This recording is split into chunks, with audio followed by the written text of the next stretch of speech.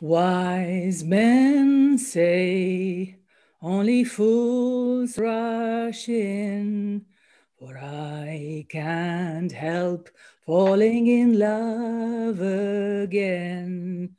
Should I stay?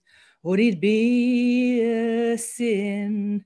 For I can't help falling in love again. Like a river flows surely to the sea, darling, so it goes. Some things are meant to be.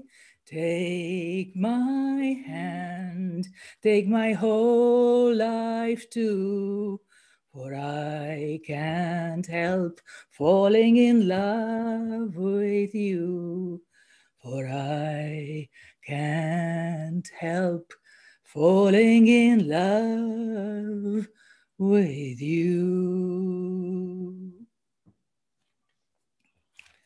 Thank you. Oh, Thank you. Thank you so much. oh, he's a lucky guy. Oh, thank you. We're all lucky. We're all lucky. Yeah. So, Oh. And now let's welcome our real musical act Steve McCormick and Heather Donovan. Um, we are lovers. I mean, we are the lovers in the dark. Was it? No, here it is. We are all lovers in the dark. We are. And this is the CD uh, available on their webpage. Yep. We are the lovers in the dark. Like- Love me in the dark. It's all love. It's all about love, right? All good, baby. That's right. Okay. That's exactly. Thank you. Well, we have uh, a new piece worked up for y'all tonight, Mhm. featuring Heather's beautiful, sultry, jazzy tones. so let's sing it. Let's sing it. I get along without you very well. Of course I do. Except when soft rains drip from leaves, then I recall the thrill of being sheltered in your arms. Of course I do. But I get along without you very well.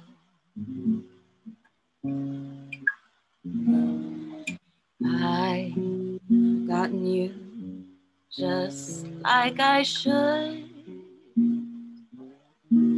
Of course I have. Except to hear your name. Someone's laugh, that is the same. But I've forgotten you just like I should. What a guy. What a fool am I to think my breaking heart could keep warm. What's in store? Should I fall once more? No, it's best that I stick to my tune. I get along without you very well.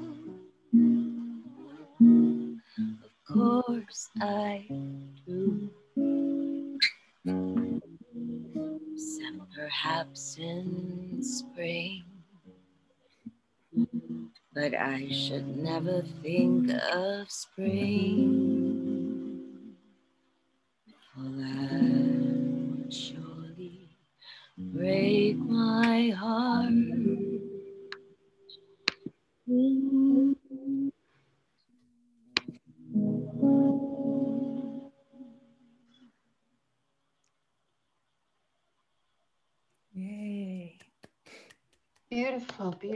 Beautiful, beautiful. Oh my God. That was written by Hoagy Carmichael. Mm. Yeah. And I just read, I just read right now that it was based on a on a poem that by a woman named Jane Brown Thompson. And it says Thompson's identity as the author of the poem was for many years unknown. She died the night before the song was introduced on the radio by Dick Powell. But so here's, you didn't even know it, but that was tribute to a poet tonight. Absolutely. Yeah, Thank you, Karen. thank you. Thank you. Thank you so much. And Dan Navarro is in the house. All right. He made it. And Alexis. I'll tell you more later. I don't want to interrupt now. I'm glad to be in. Sorry to be late. No, we, we, we just basically started. So thank you. Thank you so much. Okay, let's get on. Um, please welcome Sally Stevens. Thank you. Um, okay, this is just a silly poem. Hot sauce eyes. Okay, Buster, the jig's up. You with the hot sauce eyes, you gazing into the mirror of your own soul, admiring the reflection. I learned too late you are not at all what you seem. You're just a hard boiled, thin shelled white dude a bad egg, dyed golden, pretending to be something you're not, snuggled up next to those sweet chocolate bunnies. I got your number. You're that dinky little individual sized ketchup bottle that comes on every room service tray. A hard to part with souvenir of better days. My fridge is full of guys like you, a distraction offered by the management so no one complains about the size of the meat patty. We shared some pretty wild capers, you and I, some edgy dialogues, some chunky peanut butter chats. We floated through the world on a bed of whipped cream, leaving a high cholesterol trail wherever, where, wherever we went. You neatly groomed, your hair spiked like a broccoli floret. Yes, the apple of my eye, no doubt, for a time, and certainly the apple of your own. But in reality, when seen in the afterglow of freezer burn, you're nothing but a hillbilly, a corn on the cob kind of guy. Face it, the only reason you're still around is because parts of you got stuck between my teeth. And that was an assignment poem to use items in the refrigerator. So that's back in roll. Thank you. Thank you. Thank you, Sally. Good. Okay. Um, is Tina reading?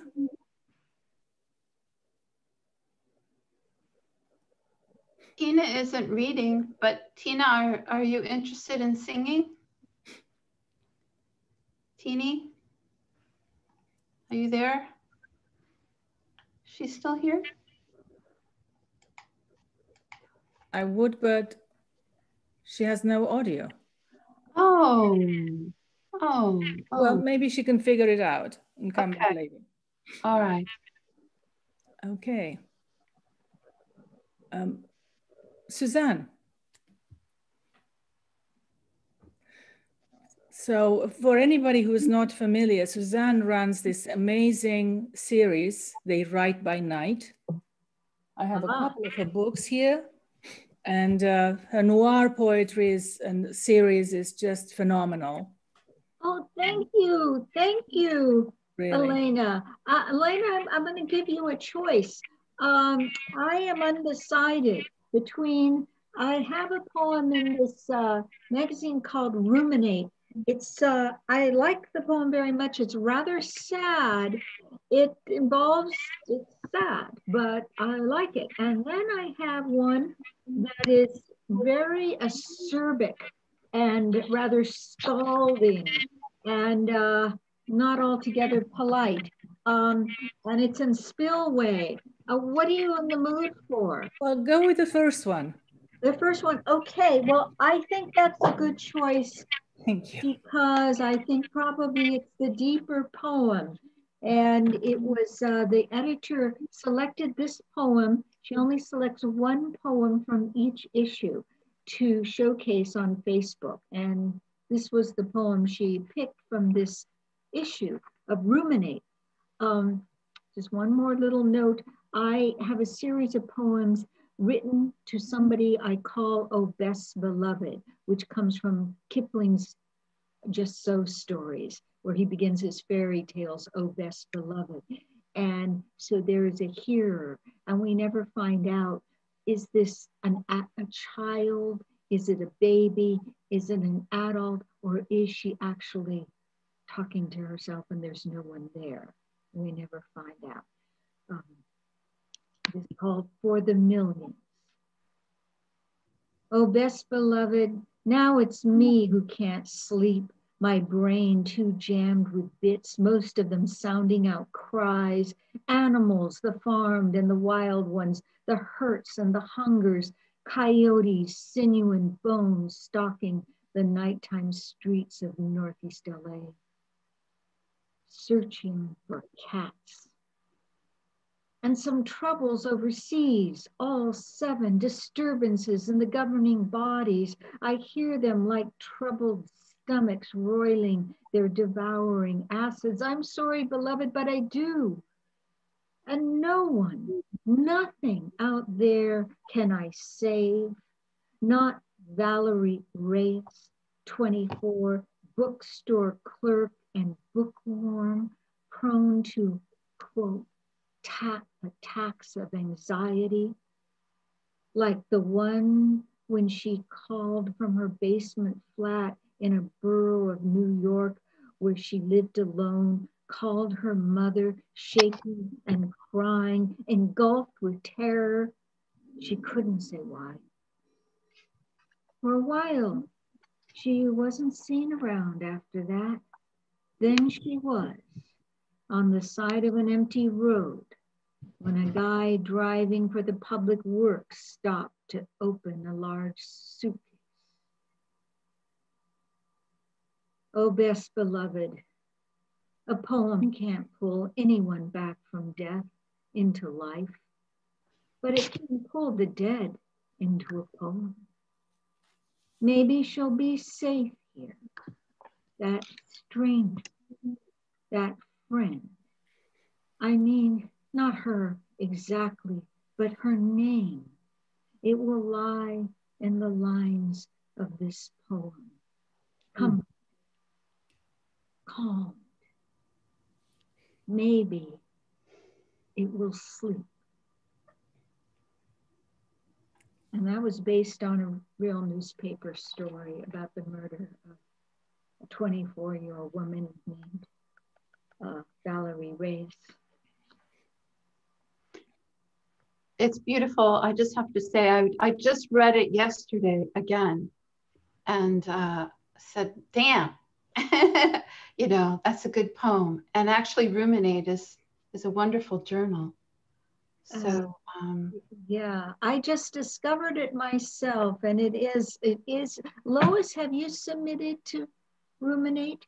no, I'm, I will though. You should. I think your work and several other people here, a lot of people here, and a, both Elena's and other people here, I think, and it's, you know, a big, beautiful magazine, hardcover, um, quite lovely looking. I made everybody feel sad. I hope somebody has a an upbeat poem. Thank you. Thank you, Suzanne. And uh, hopefully you'll st stay maybe for the second round as well. Okay. Sad poems make me happy. Oh, ah, I, it, it, I understand that. I do. I that makes sense paradoxically. Okay, so now maybe we'll pass the microphone to Lois. Um, Lois P. Jones was shortlist prize winner in the 2018 Terrain Poetry Contest, judged by Jan Jane Hirschfield. Other awards include the Lascaux Poetry Prize, the Bristol Poetry, Poetry Prize, judged by Liz Berry, and the Tiferet Poetry Prize, with work thrice listed for the Bridport Prize and the National Poetry Competition. Jones has work published or forthcoming in Plume, Guernica Editions, New Voices, Contemporary Writers Confronting the Holocaust, Verse Daily, Tupelo Quarterly, an American Poetry Journal. Her poem, Reflections on La Scapigliata, was featured film poem for the 2019 Visible Pro Poetry Project. She's the poetry editor of Kyoto Journal and the host of Pacifica Radio Poets Cafe on KPFK. Her first collection of poems, Night Ladder,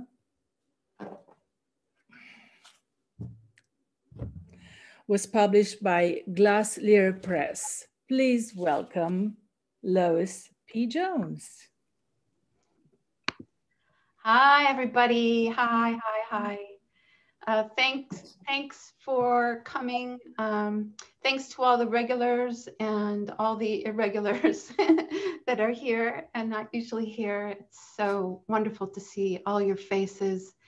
And I'm thrilled um, to see Linda and Margo and uh, you know people from different parts of the world and also different parts of the country.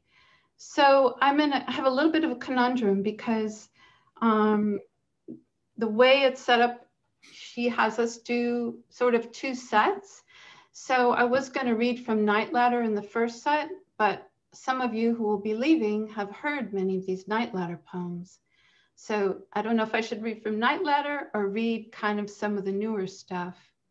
Um, any any votes? Read your new work. Night Ladder. okay, one one vote for Night Ladder and one vote for new work. Another for new work. Another for new work. Okay, I will read the new work then. And three, then I'll do what's that? Three, four votes for new work actually. Okay. Everybody's everybody's uh, tired of Night Ladder. no, no, I'm tired. No. No, I'm just kidding. So, um, yes.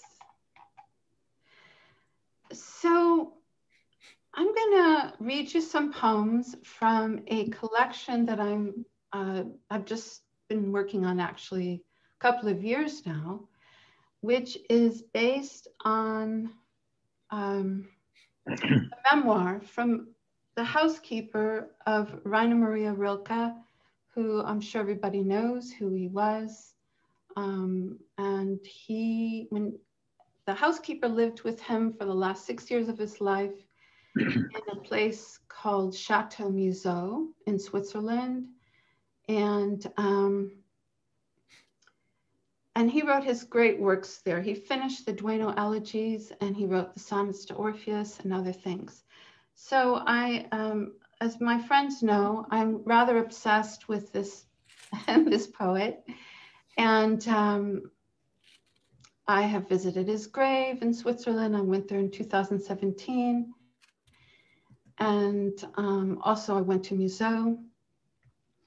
And I came across this wonderful memoir, which was written by his housekeeper, and it was in German. And I thought, how am I going to get that translated? And I asked my good friend here, Bill O'Daly, do you know any people who, anyone who might be good for this particular uh, project?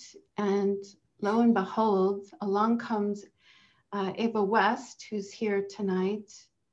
And um, she is actually from not too far from the region where the housekeeper was born, and she lives in Northern California. Anyway, she translated it. She's done a beautiful translation. And her and I uh, spent some time in Switzerland together and went to Muzot and all of that. And, um, and so I've been writing these persona poems from the viewpoint of the housekeeper. And so you can imagine that this woman is 1921. Um, she has traveled on a train to live in this 13th century um, chateau that has no running water, no electricity. Um, she doesn't know, you know, she's moving in with the poet, but, um, you know, poets are risky. I mean, who knows what could happen. So, um, so anyway, it was a very odd situation for her, but she kind of fudged her way in because she really didn't have too much experience. She didn't know how to cook or anything, but somehow she got through all these applicants and they hired her uh, to live in this house with him. So, um, so I will start out with one of the first poems, and it's actually the title poem of the manuscript called A Stranger's Needs. And it has a quote from her. And she says, Chateau Muzot was extremely primitive the rooms were comfortable, but there was no electricity and no running water in the house.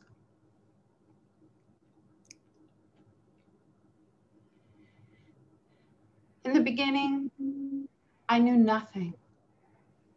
Not of the steel pots that required constant scrubbing or the way to press a shirt of linen.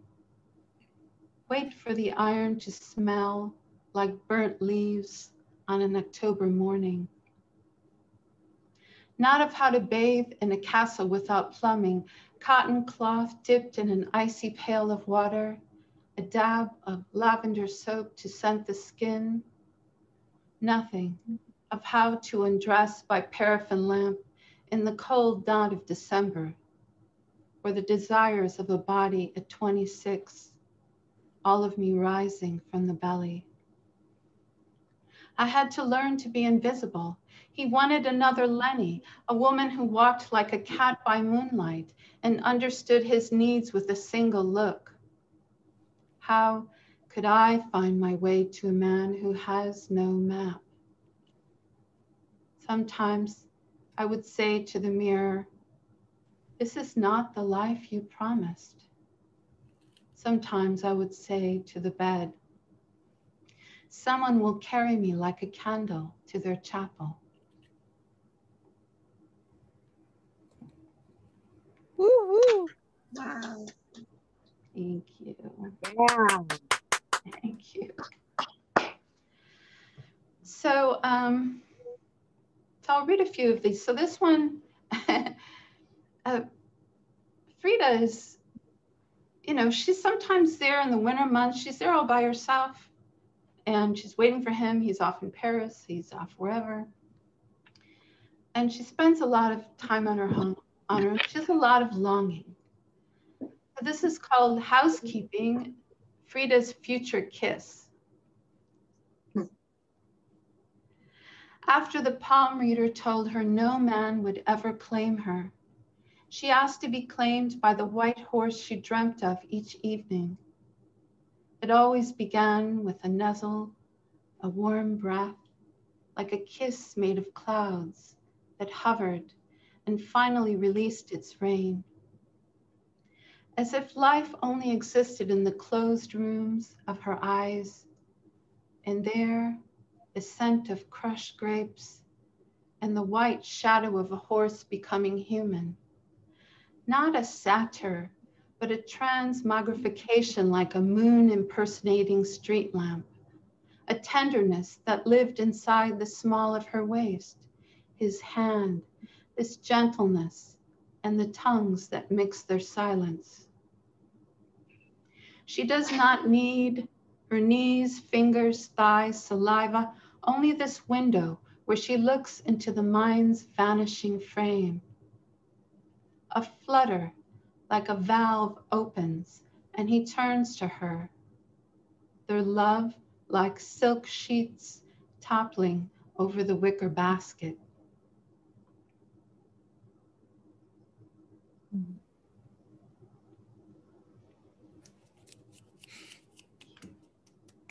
And interestingly, um, so she never married. She never married. She lived with him after he died. Um, she was gone for a little while, but she came back and she spent her life there as kind of a person that people would go to, you know, to ask questions about him. And I guess they had tours at that point, you know, for the house and things like that. But, you know, part of me feels that that connection with him ran very deep. So this is called Minot the cat. They had a cat named Minot. And um, and Rilke has a quote here at the top of the poem. One night, a very cold night, I think it was still December, Frida, was the housekeeper, had forgotten her out in the snow. I did not forget her. I swallowed her yowls, her swollen calls, the pacing of her paws, paws until my tail flicked to one side and I was out the door. I remember how you once entered the body of an animal. Your sight ran ahead like a dog, and you looked up at your mother through those swung doors that opened into your inner forest. You were a child then. You told your mother, and she was frightened. You never trusted her again. I circled the house trying to find some hole I could slip through and climbed up the plum tree, then leapt onto your balcony. You were woken by my voice, half plaintive, half angry. And what if I asked you to come inside this body and move with me through the house, our paws padding out the silence, our silence a padded room where no body enters? You always wanted a sister, a woman with whom you could be so close. Let me be that soul you can mirror, moving through me, unattached to what moves.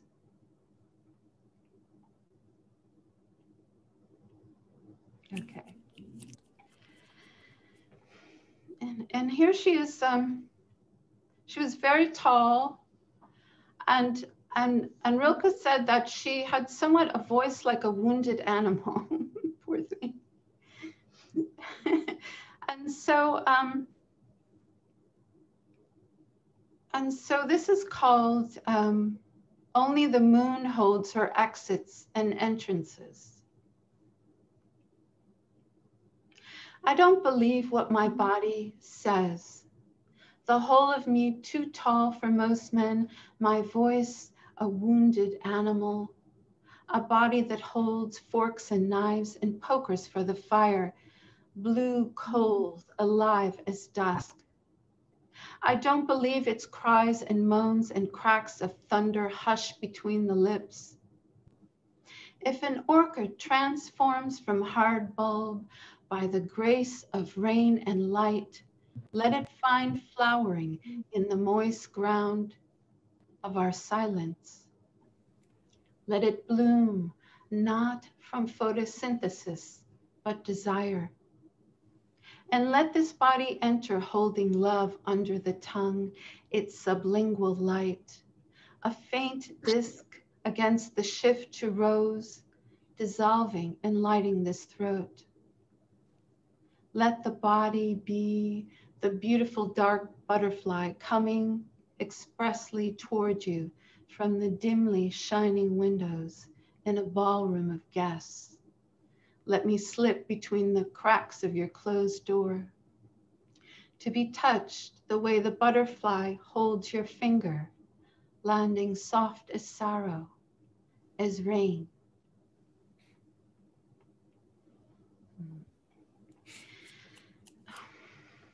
So here's an, another in the series. I have a couple more. And this one, um, Rilke was a deeply, uh, was a real sensualist, sensualist, which of course anybody that reads this poem could tell. But uh, I came across this very interesting quote in the Poetics of Space by Bachelard. And, uh, and well, the title of the poem is called The Fever. So she kind of rises from the fever. But the quote says, the poet Rilke enjoyed donning his maid suede gloves and dust, dusting furniture in the wee hours of the morning. like caressing the body of a lover. After this, he said, There's nothing that you do not know. Hmm. There was a candle burning inside my brow. I could not pinch its spurred flame, so I crept out of the fevered bed to the forest of our floors and their cool tiles against my feet. Green and green again, like buttons sewn on our felt tree. It was just your hand at first, moving up the velvet drapes, independent as a whistle from nowhere. And then the thin figure of a man emerged slightly from the stage, the fingers and thumb gliding up the drape's edge. Something at the wrist, a thickness between the fingers like a new skin, with a slight webbing that layered the delicate hand. I saw my suede glove touching an edge, then moving slowly up the thick plaited cord, then down. A finger drew the line of its own profile from forehead to neck, and I felt it as if it traced my own throat down to the clavicle, then up again to the edge of my left lobe. Shivering, the moon shook too, so sewn to the poet's mind as if the fabric of the scene tilted and buried itself in the night's scene.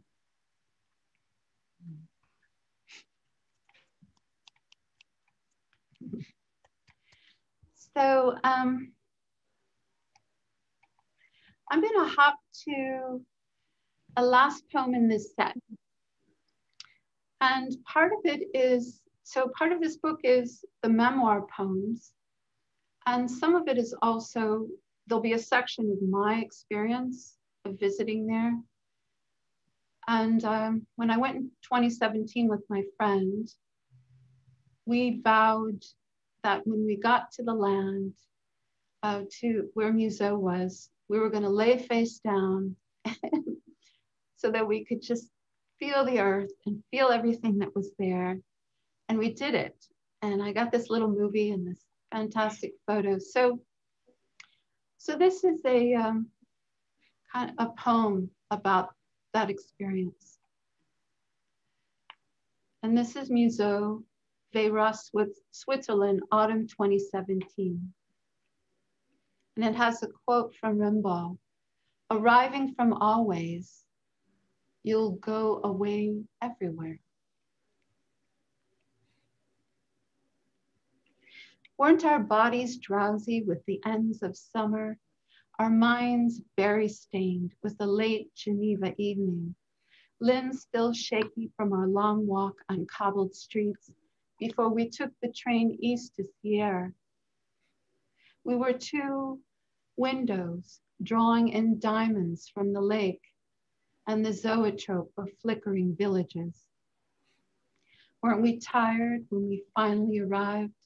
lost in the city until we found the last bus to the Alpine village. We slept in beds above the clouds, night carrying us in its milky cataract. And in the morning, didn't our innkeeper drive us in his dusty convertible to the winding road of the poet, leaving us with our silence to walk the sloping path, past vineyards, butterscotch in the October slant,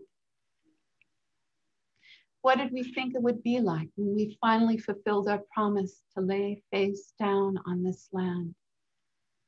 Think about how we opened into the earth, the ground remembering our hips, their sharp triggers pulling us back to where his body lay almost a century ago. Didn't his head rest on the same soft grass as the hours moved through him? Our own vanishing into Earth's wild insomnia.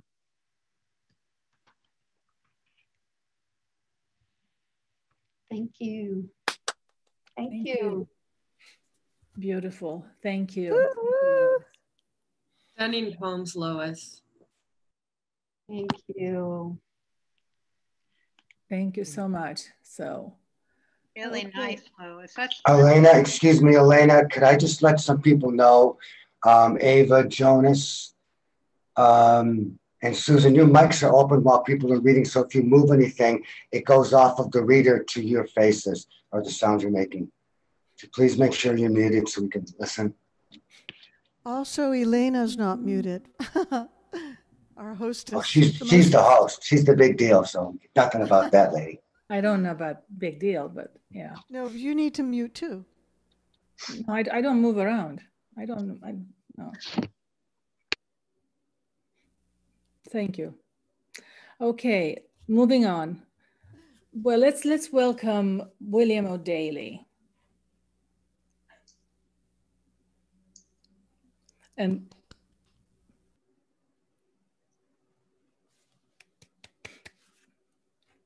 Okay, Bill?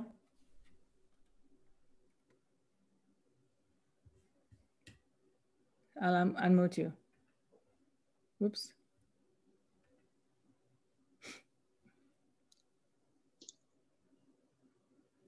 Hey, great. So Bill is uh, featuring next month, by the way. Thank you, Elena. Thank you for being here. Great work, Lois. Wonderful new work. Um, these two poems, um, I'll read them because they were uh, featured in uh, the artist and photographer Galen Garwood's um, website this month in his journal, Visions and uh, Voices. And um, they both connect with um, the work I've done with Pablo Neruda. This first one, I, I had this dream when I was uh, preparing to translate my fourth Neruda book, The Sea and the Bells. It's one of the most vis- vivid dreams I've ever had.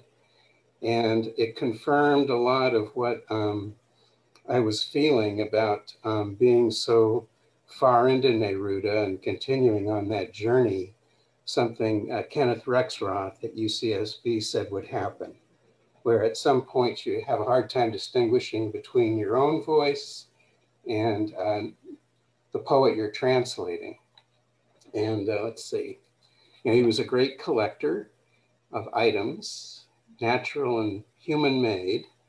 And um, you'll hear an allusion to uh, his wild haired love. That's uh, Matilde, his third wife. Uh, he called her La Chascona. Uh, the the wild-haired one is the best is the uh, nicest translation. Unkempt is what it means literally. But at any rate, the dreamers. One night, a boy emerges from among the clothes hanging in the open closet and stands beside the bed. He is dressed in dark woolen trousers and white shirt, buttoned at the neck and his shiny black hair is slicked back as they wore it in his day. He slowly reaches out to me. In his hand, a glass of water, iridescent. The colors are my voice, an offering drawn from the mineral spring of the first beginning. Now I stand at his grave where the world ends in the cormorant's cry, and I can hear the horse's tail swishing among the trees. Like secret phosphorus, a gift of woolen socks binds the weaving hands to oceanic light. The plutonic rocks, born of the far south, rise from the shelves into our consciousness bearing the volcanic words he left to us.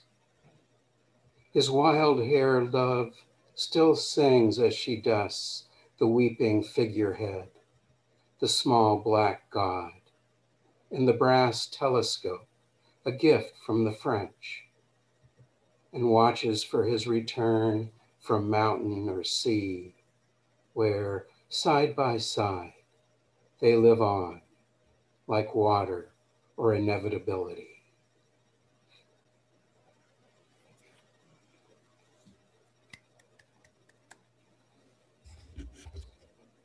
And uh, the second poem um, is in the uh, manner of uh, Neruda's Book of Questions, in which all the poems are questions, uh, made of questions, usually couplets.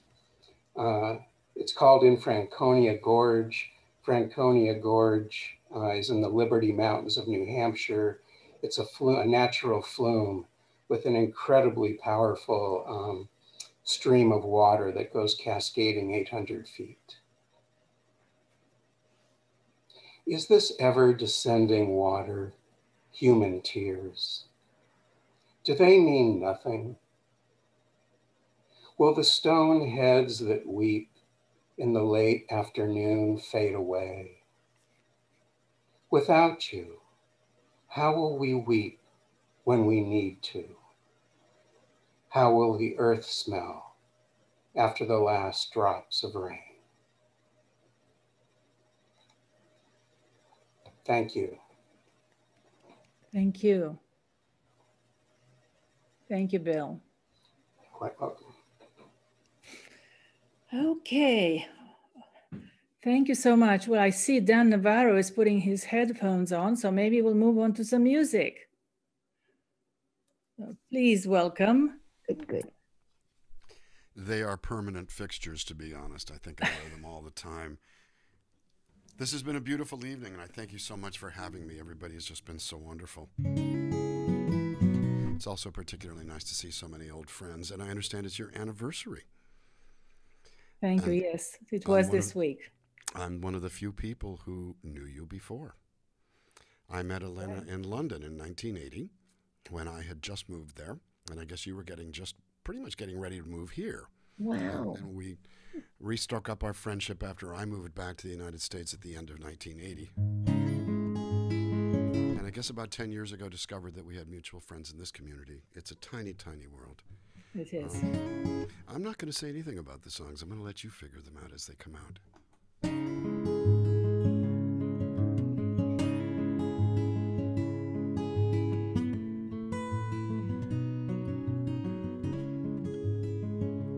I had a dream.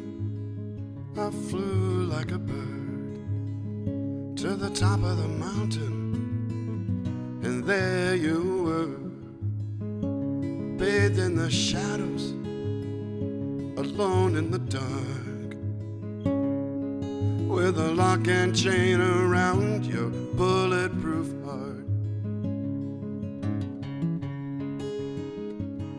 Minute by minute time after time, body to body, crossing over the line, wrapped in each other, a shower of sparks began to melt the ice away from your bulletproof heart.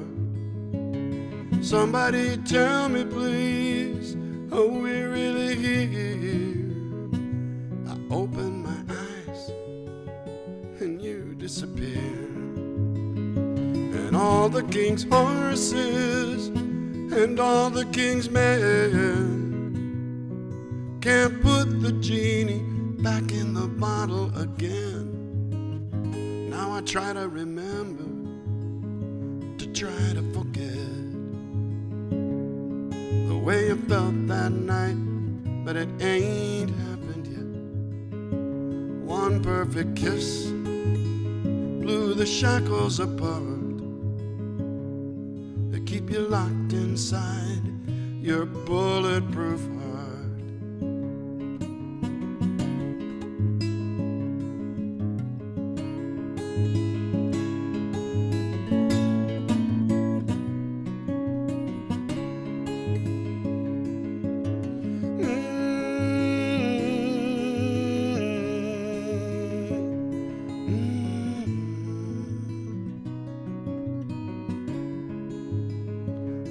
Somebody please tell me please what's happening here. The image is hazy, but the memory's so clear. And all the king's horses and all the king's men can't put the genie back in the bottle again. So where are the fault lines? How deep are the ties? And can I ever touch the fire I see in your eyes? We could come together or we'll come apart. But I cannot come away from your bulletproof heart.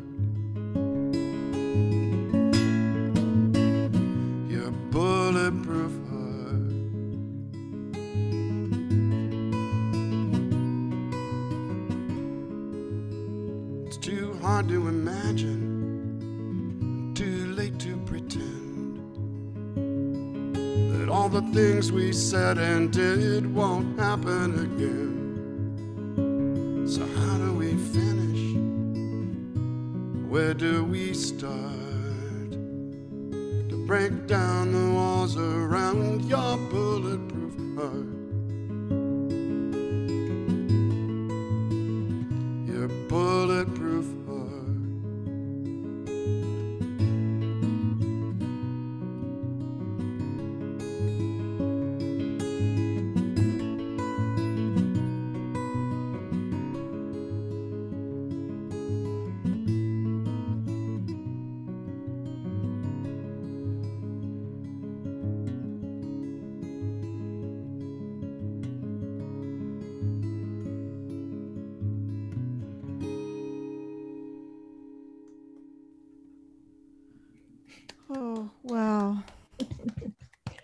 Was you. beautiful. Beautiful, beautiful. Thank you also very much. Thank you, Dan. God, that was perfection. Thank you. You're very Thank you. kind. Thank you Well, so in this much. crowd, you have to bring your A game because I've heard some amazing music stuff this oh, evening. Oh my God. It's kind of. You'll Dan, come back. I- you'll I have come paid- back again, right? Say it again, sorry. Yeah. Come back. Oh, anytime, Yeah, anytime. no, I mean we would do oh, like great! rounds. I'm not going anyplace. Good. I live. I live here. All right, so um, let's have Margo all the way from Paris. Let's see. Yes, I unmute. Hello, everybody. Thank you, Lois, for such beautiful, beautiful work. It's an honor to read next to you. This is a poem that just appeared in the Persimmon Tree Journal, and it was written immediately after January the 6th. I'd say it's my epitaph for America in these last and yes, lost days. It's called Postlude. Leaf fall, dirt caked as love half buried, its skeletal hands that waved come home. Infants in someone's embrace, aged next to shout how the personal was political, political the personal before their winning hands were maimed. Land after land, note makeshift memorials strewn with children's pens, stems of what were flowers, burned coals. It was journalists who were massacred that year, that winter riot, prelude to fascist boots on lost ground. In the beginning was a word, fine toothed as a soul, handheld, personal, political, gunned in its birth, in its birth zone. Kali Yuga, they'll call it now, on one side of the mount, on this slope of dirt. In the beginning was the word we wanted more, and the word was human. No, prelude, leaf fall. Thank you. Thank you, Margo. yes. Ashton. Ashton? Ashton Cynthia Clarke. Yes, my dear, I'm here. Thank you for including me. Um, as Elena knows, and some of you may know, I'm not a poet, I'm a storyteller, but I've been attending Elena's rap salon for a while. And uh, since my mother passed away in 95, I hadn't written any poetry, but I've been inspired to try again. So these are just a couple of haiku that I did recently, both a tribute to the first time I went camping, and it was such an unexpected pleasure. These woods, your refuge, thick, brambled, provide shelter. I offer my lips. And the second one, wet moss underfoot, our limbs slapping on hot rock. Only the deer saw. Thank you. Thank you. Thank you, Ashton. Those were great. Yes. Alice. Alice Pero. Hi. Welcome. Wonderful reading. Really, really good. Wow. Thank you. Totally impressed. Things we can do or not. Here in this world of leaves and leavings, dappled and dimpled, speckled and wrinkled, we can breathe in and out with birds, scamper with rabbits, race with hysterical squirrels. Our plate can be loaded with pickles and squash, lox and melted cheese, rainbow carrots, and the strangest lopsided quesadilla none of it sticking to our tongues. We can scatter dust from our keyboards, dance in confetti coming from high windows, march in protest parades in long gowns. We can duck bullets sprayed out from guns fired by angry mobs who throw Molotovs. We can carry signs splashed with blood. We can reserve cocktails online, get drunk alone in our rooms, pretend happiness despite world gloom. We can be skewered or screwed, read our books backward to show our contempt, never answer the door when the doorbell rings. We can write poems that sing and songs that thud always another one coming and another, as though that would save the world. We can take baths in mud, in a stream in the desert, a stream that flows on and on because we are there willing it, willing the water and the beautiful rushing sounds so it all comes round again. Hmm. Thank you. You're welcome. Thank you. Thank you. Thank Great you. audience. Um, Elena Karina Byrne.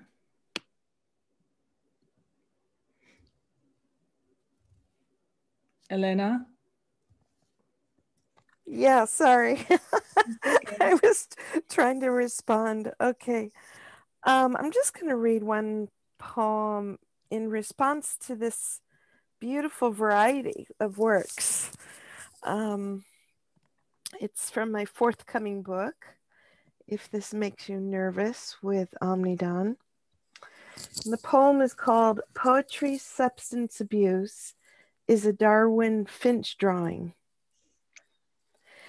In motion or air of abandon, when you least expect it, much like when they say your next love will come to you when you least expect it.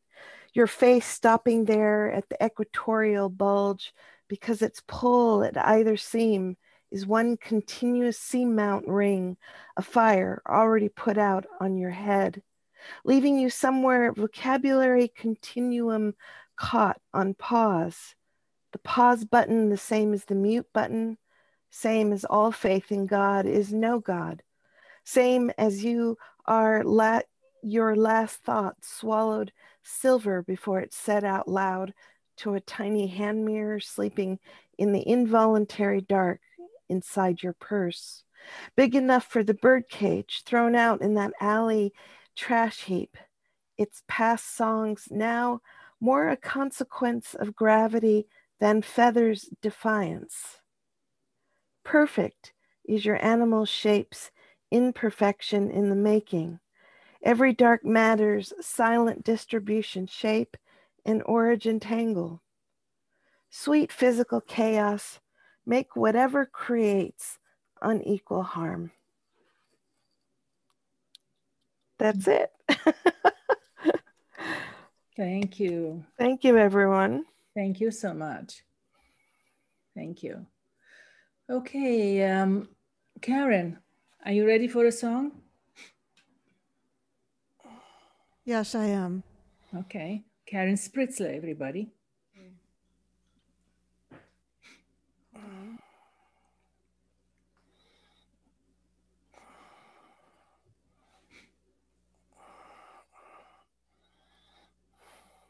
I do hear someone breathing.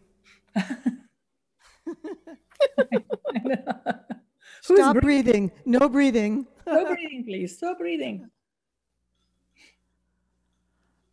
Okay, here we go. So, um, Dan Navarro, I have paid money to see you at McCabe's many, many times. so I'm kind of intimidated. Um,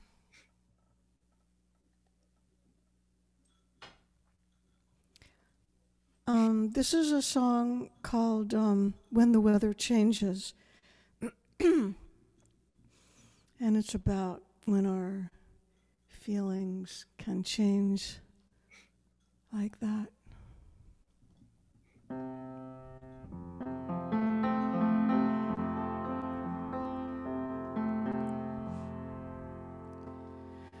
Cold is the day when the heart can't be touched. And cold is the night when the mind sees too much. And hard is the wind that comes rushing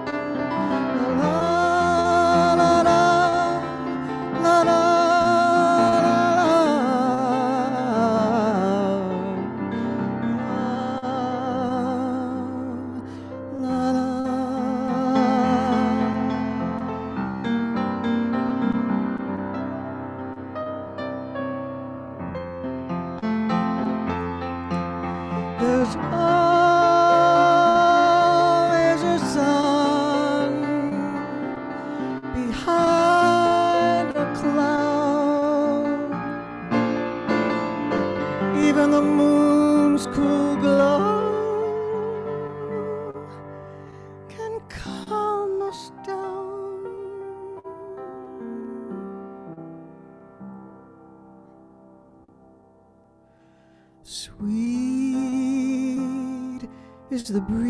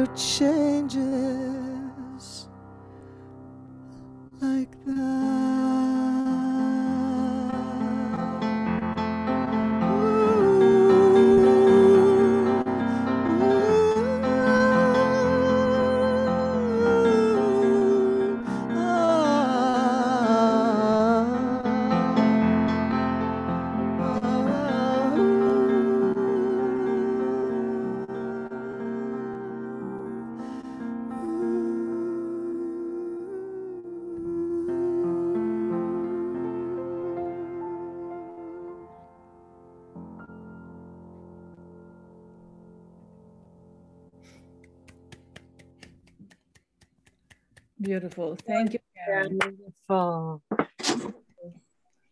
Bless you. Thank you. Thank you.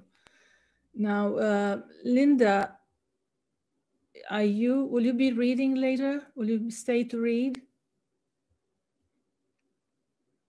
We're going to have uh, Yu Sharma next, and then maybe Linda if she wants to read. Okay. So please welcome Yu Sharma, all the way from Nepal. Thank you. Thank you, Alina. Uh, so wonderful. Uh, I am sorry, due to some trouble, I am not having my uh, video goes off and on. So you won't be able to see me because there's some trouble uh, with the thing. It is wonderful evening and I'm, I'm a greeting to everybody from Kathmandu. Uh, it's the morning time here.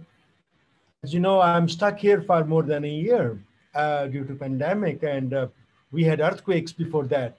So the poem that I want to read today is uh, uh, about earthquakes that uh, occurred uh, a few years ago.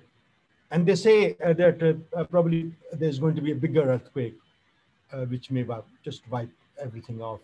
So we live in this kind of, I wonder why I'm here, you know, all the time. So the poem say, the title is, Where Would My Story End? You know, in, in the time of Vedas, the ancient scripts when written, uh, didn't exist.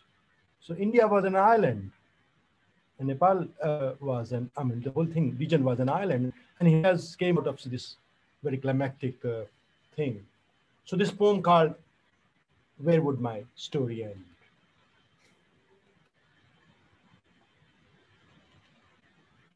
Where would my story end? In the cracked paradise, jolting from an elastic energy, trapped in earth's sanguine womb. A heaven tilted sideways. The paralytic face of the hillside grandma left out in the cold by my demons of a flailing polity. They predict a disaster here, a fracture, a future fractured from the accumulation of an ocean of molten mass, a divine zeal, a reversed vision of the earth own making, re retracting herself into an island again, a Jambu Deep, an island of Vedic eternal hymns. Someday they say, Earth shall change her side in sleep, exasperated from a turbulence of the reservoirs of kinetic energy, sunken from the vision of an impending doom. A goddess Ajima or Hariti, our primordial mother goddesses of numerous offsprings, bearing their own squealing newborn beneath the weight of her hefty torso in the whirling black tunnels of postnatal sleep. Geophysicists, panelists, prophets of the whimsical West, pundits of the twisted East. I see them squinting into the fogged holes, imagining a cosmic crash in the valley of the Lord Himself. But where is there a way for me to desert it and my grand story, my Himalayas, my Nepal, like my own destiny? A life suspended in mid sentence, a journey in smug lanes of centuries' crooked sleep, the broad chested canyons, glaciers melting like tantric trophies from master of time, Padmasambhava's snow sanctuaries, full of thwarted bodies, of bleary eyed wanderers re- reeking of hallucinating yantras, hubris of consuming fresher fragments of newer galaxies. If tomorrow, what if this very moment, Kailash opens up, tearing up the carpets of white rabbits, racing along the green pastures of turquoise lakes? What if large zone pinnacles of patience crumbles and newly born republic turns into a tiny morsel in the jaws of a mighty dragon of an apocalypse? Where, I wonder, would my story end? Thank you. Hmm. Thank you, Yu Yu. Thank you. Cinda leave. You're welcome. Okay, moving on. Thank you. Let's hear. Um, um,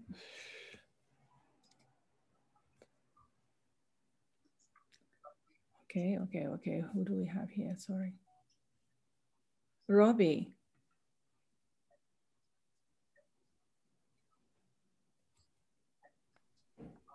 Why did people ris- disappear? Okay, I'm here. Okay, here. Okay. Okay. Um, Nester. yes, I have Oh, some eight poems just appeared in this beautiful uh, anthology that you probably can't see uh, from Aeolian Harp. And Alexis is in there with me too. Um, so I'm going to read one of those poems from that folio um, called Second Daughter. And it's after an episode of the Netflix series, The Chef's Table. My mother cried. I was her second daughter, little better than a death. In India, no parties or celebrations welcome a girl child, only slammed doors, impatient voices. But I come from a warrior clan. Our family compound looks down on broken shanties. Father said, I must be mindful of this accident of birth, must make a mark. I shout my name from every open window, demanding to be heard. To make my mother proud, I earned a law degree at Oxford, married well, but still felt empty, alone in a far off country, until by chance, paratha cooking in a stranger's kitchen summoned me to India to learn to cook. My mother was angry. She said a lawyer belongs in court. In her kitchen, I watched and listened, and she could not deny me, taught me to feed the spirit with a handful of flour and oil, to find the rhythm of a meal fashioned out of onion and potatoes, garlic and cardamom, ingredients that, with patience and a practiced hand, release their flavors, become a symphony. I hear the murmur of the sauce as it thickens, the rattle of the stock pot, savor the scent of spices roasting in the skillet with a bit of oil. It taught me faith, sealing the pot of rice with a braid of dough, trusting each grain would soften and swell like a pearl, yielding to the steam. At home in England, I spoke with everyone who looked familiar, taught them my mother's recipes. Soon enough, I welcomed guests as though they were God Himself. Everyone knows my name. I owe this to my mother, to the women at the front of, um, standing silent at the stove while I worked the front of the house, sharing the story of this food, this accident of birth. The guests begin as strangers, leave as friends. Back in the village, I unseal the locked gates, embracing every second daughter, drying her mother's tears, every birth worthy of a festival, a feast, fireworks lighting up the sky. Mm. Thank you, Robbi. Robbi, that's beautiful. I, it's amazing what you did with that. I watched that that uh, series. It was incredible to see her evolution and how she came from, you know, that from the law all the way to food, and then the, the celebration of the second daughters, and and I, I love what you did with that. It's just um, beautifully lyric. Thank you. I have a whole chapbook of them of those episodes. Oh. Also, Oh. a few from Street Food, but I'm having trouble finding a home for it. Still looking. All right, you'll find it. Thank you so much. I think I'm going to conk out. I'm so tired. I'm sorry. But thank you so Thank much for hosting me. Well, thank And you. Come again. thank you for a wonderful evening. Thank you. Thank you so much. Okay, let's get on. Please welcome from the East Coast, Paul Thiel. Hello, can you hear me? Yes, we can. Good. I'll try to put a picture in, let's see.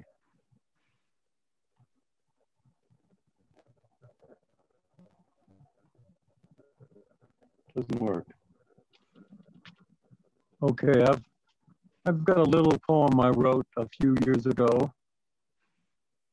in New Orleans. Uh, the title is By a Fountain, New Orleans Botanical Garden. Lying flat on a bench, my back embracing the stone. That's all there is. The water's music dancing in my head. Where is the bug? The annoyance? Black lines crisscross silently above, branches of live oak piercing the clouds, moving slowly to the rendezvous with weather. Sun peeks through. That's it, baby. Give me some of that warmth. The heavy branches bend down to listen. Do they hear the song of the flute? The bronze player standing in the fountain in memory of Eugenia and Joseph. Verdigris lady, impressively tall. My God, what feet she possesses. Her mouth, not to the pipe at all. An illusion. Her eyes shut, impervious to camellia. I think she listens to the water though. That's it. Thank you. Thank you. Thank you, Paul. Moving on. Jim. Jim Bolt.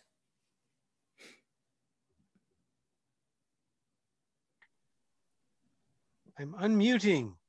Am I audible? Yes. Indeed. Yeah. Okay, here we go. There's been so much beautiful work. I'm I'm a little shook up. Okay. now can you still see me? No, only the picture. Only a picture? Well, I, I've got to read off of a different app. So here we go. I got to do it this way. Let me try one more thing. How about now? Can you see me now? Yes. All right, let me try it this way then. Okay, um, here we go. I would line up outside the classroom five or 10 minutes before the end of lunch. had to get my favorite seat. I was a one man line, first in line, finishing my lunch outside the door, not wanting to miss a minute of this inspired, feverish, nearly out of control outlier among all my teachers and possibly among all other geometry teachers anywhere. Eventually, other students caught on and started lining up behind me. Once we settled, he would start each class silently by drawing a large circle, the full radius of his arm's length, with his human nautilus curvature limb mechanics on a flat blackboard. For the first couple weeks, we would simply wonder why he drew the circle, as he initially said nothing about it. Then, collectively, we realized each day he was attempting to draw a perfect circle and how incredibly unlikely it is to ever achieve this feat. This was not a diagram. This was performance. Week after week, as he veered closer or further to or from perfection, with all of us watching the path of his chalk, it became more of a high wire act we started to follow his deliberate circular stroke, traveling from his shoulder out through his arm to his hand through the chalk with more anticipation, more appreciation of what a perfect circle would be, how achingly close he would get each time.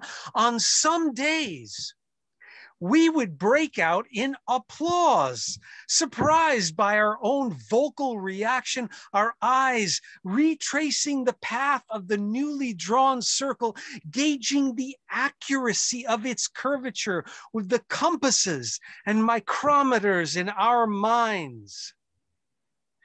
Mr. Shore always offered up the chalk to anyone who wanted to give it a try and the occasional intrepid student would step up, gaining our immediate respect, still her or himself like a martial artist, deeply focusing before breaking bricks.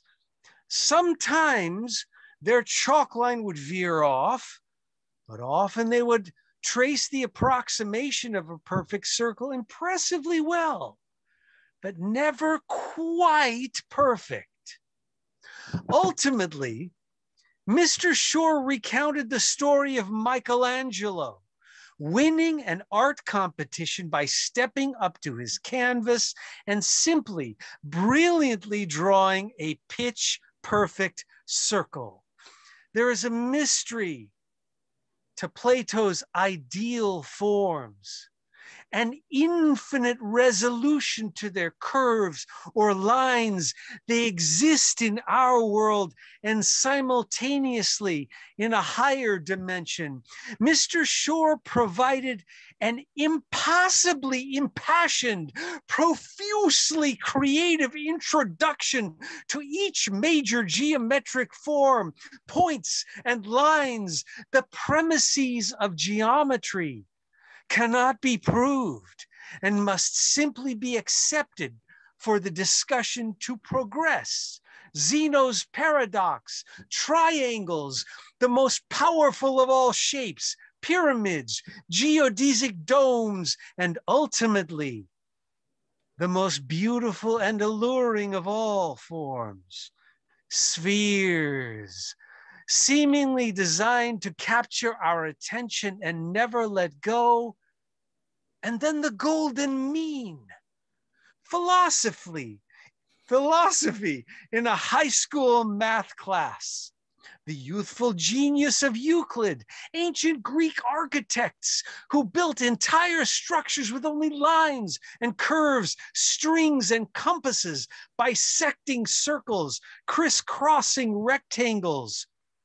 The so called basic geometry with almost no numbers. And I had a natural talent for this.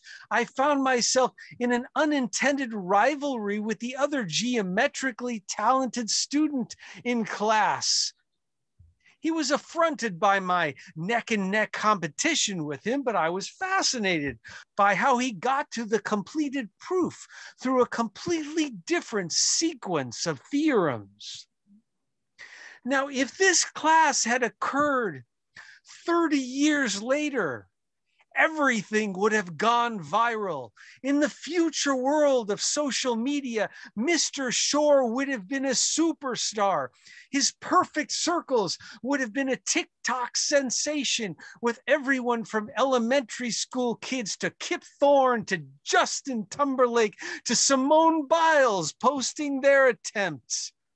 He would have had geometry fans of every age. He would have had millions of YouTube subscribers.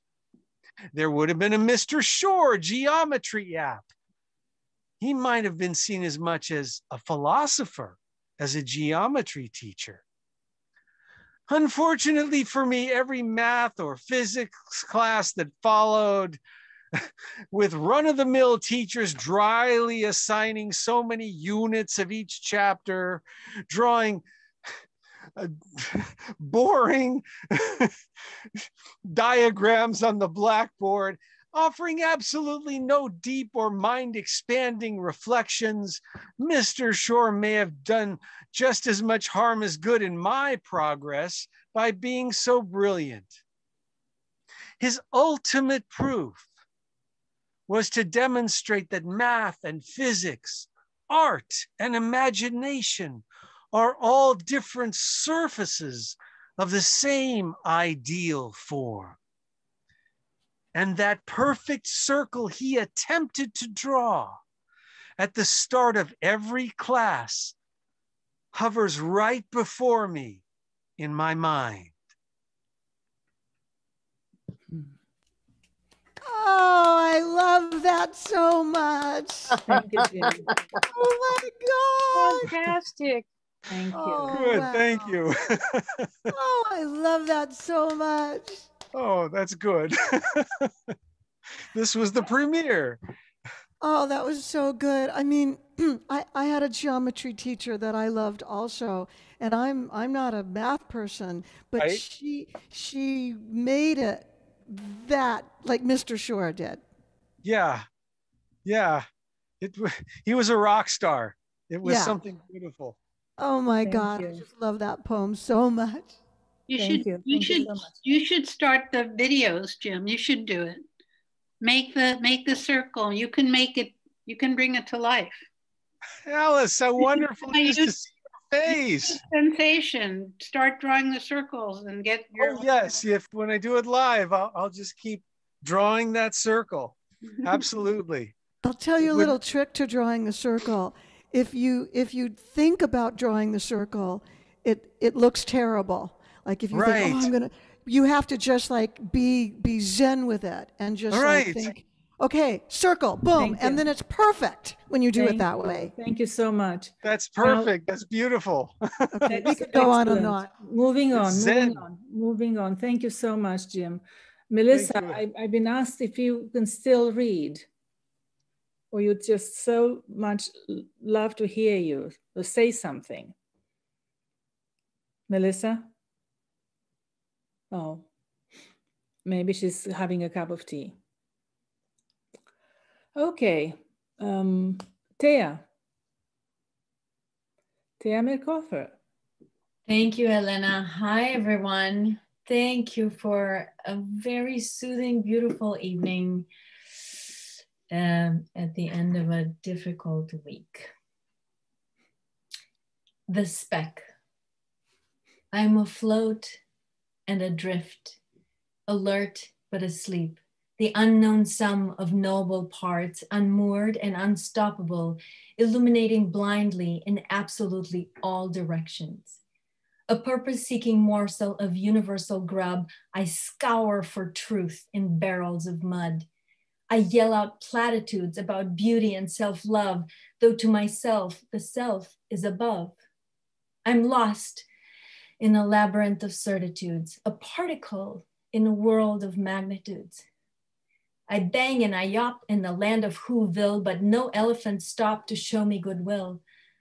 I'm alone in the world, and I'm small, and I'm meek, and the purpose I seek is engraved on my forehead, out of sight. It reads backwards in mirrors, and it sears to the touch. Who am I, and why? I'm alone in the world, and I'm small, and I'm meek, and the purpose I seek is engraved on my forehead. Can you read it to me? Thank you. Thank you. Lovely. Oh, beautiful. Thank you so much. Stephen Heather, how, how is Donovan? Can you stick around some more? We, we can do a we can do one song before we have to go back in and check on him. Okay. All right. Um, let's have. Can you can you hang around for for a while though, right? A little bit. Okay. Well, let's have uh, Pamela, Pamela Clay now.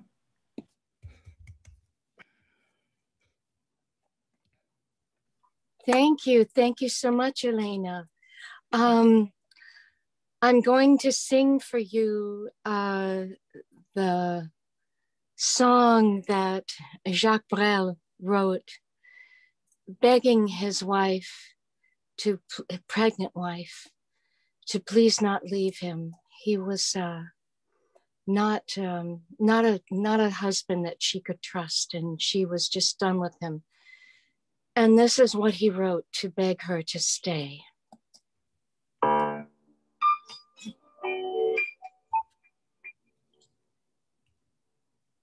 Ne me quitte pas, il faut oublier, tout peut s'oublier, qui s'enfuit déjà. Oublier le temps, les malentendus et le temps perdu, à savoir comment oublier ces heures qui tuaient parfois à coups de pourquoi le cœur de bonheur. Ne me quitte pas, ne me quitte pas, ne me quitte pas, ne me quitte pas.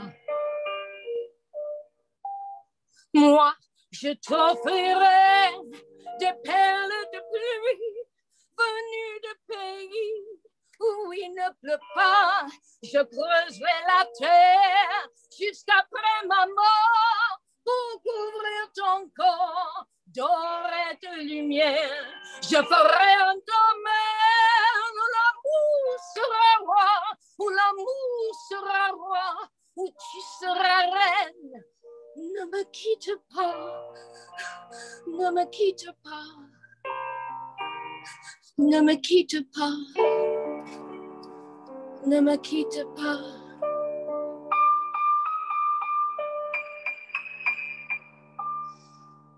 Ne me quitte pas, je t'inventerai des mots insensés que tu comprendras. Je te parlerai de ces amants-là qui ont vu deux fois leur cœur s'embrasser. Je te raconterai l'histoire de ce roi qui est mort de n'avoir pas pu te rencontrer. Ne me quitte pas. Ne me quitte pas. Ne me quitte pas. Ne me quitte pas. On a vu souvent rejaillir le feu de l'ancien volcan qu'on croyait trop vieux. Il est, paraît-il, des terres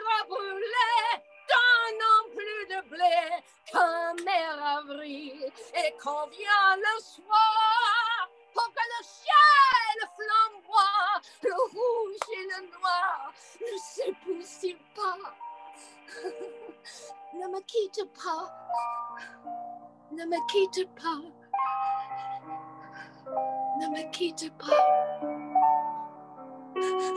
ne me quitte pas.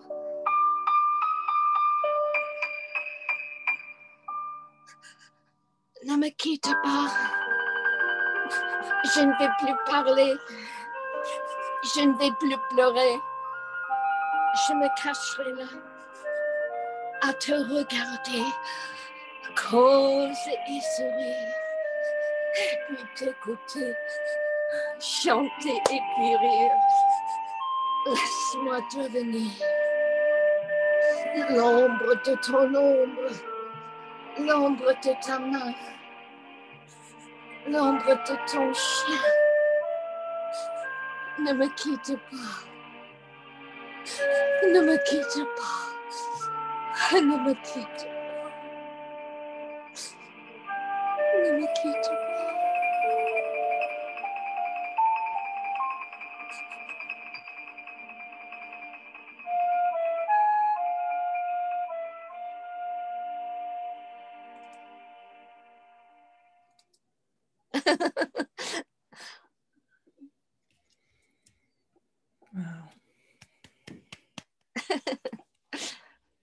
Thank you, Pamela. Thank you. Thank you, my darling. Mm, I love you, Elena. Oh, Gorgeous Pamela. thank you. Thank you so much, Dana. I love you. I love you all. Uh, Lois, would you continue? I am coming back to everybody. Don't don't worry. But Uh, yeah. It's a long night. So so I will um I'll just read like maybe one poem. How's that? maybe one or two. But one. Okay. Let's see. All right. So this is from Night Ladder. And um and it's called Apple. I'm an apple in the pocket of this old coat of yours, honest and round. You feel me blindly with rough hands. You dare take me out to examine me. The deep wine bruises, the garnet wounds. What green is left reddens quickly in your palm. Twist my stem between your fingers until it snaps, then lay me down on the pine table. Split me open with your sharpest knife. Your tongue draws out each seed, dark eyes that want to grow in you. Place this slice between your lips. One bite to remember an orchard.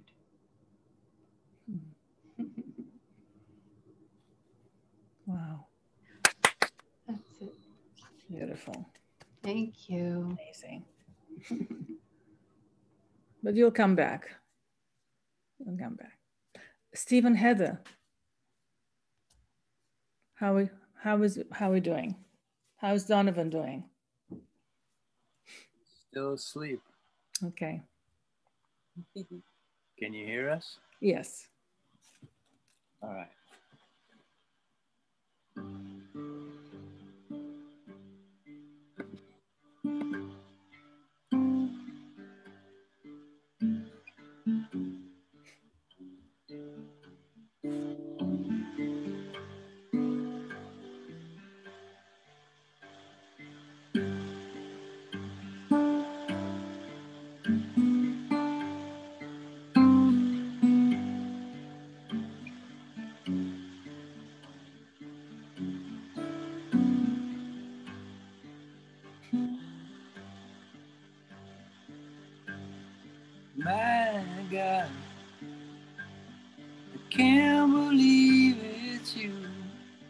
Looking tired out, like you don't want no more.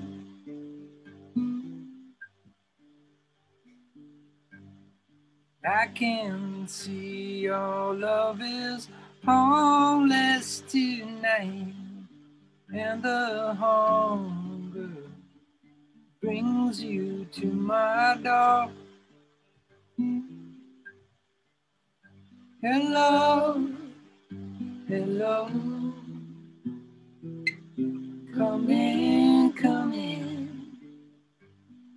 Get your death of cold, my love. If you keep wandering. Hello. Hello. Hello. Hello.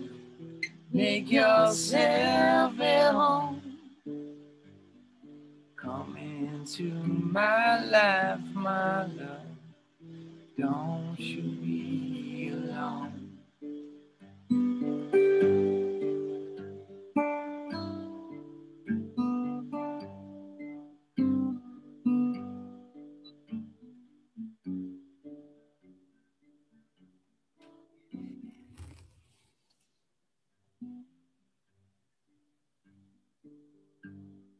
My God, look at you now. After all, stripping years.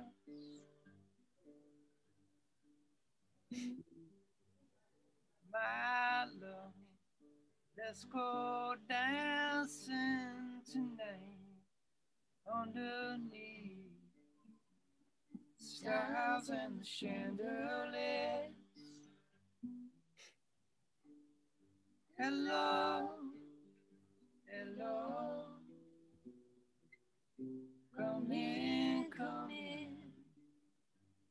No matter where you're going, no matter where you've been. I say hello, Hello, hello. hello. Make yourself at home. Come to my life, my love. Don't you alone. Come into my life, my love. Don't you be alone. Come into my life, my love. Don't you be Yay.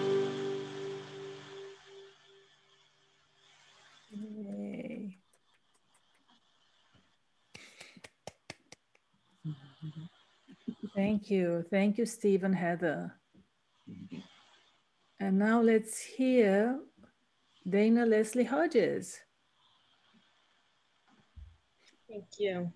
Hey, Dayna. Night. Such a beautiful night.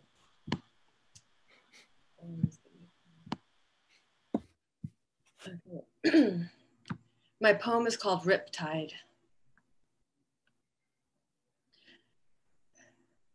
Alone in Riptide crowd, I feel insignificant as I tread tides of conversations amongst others.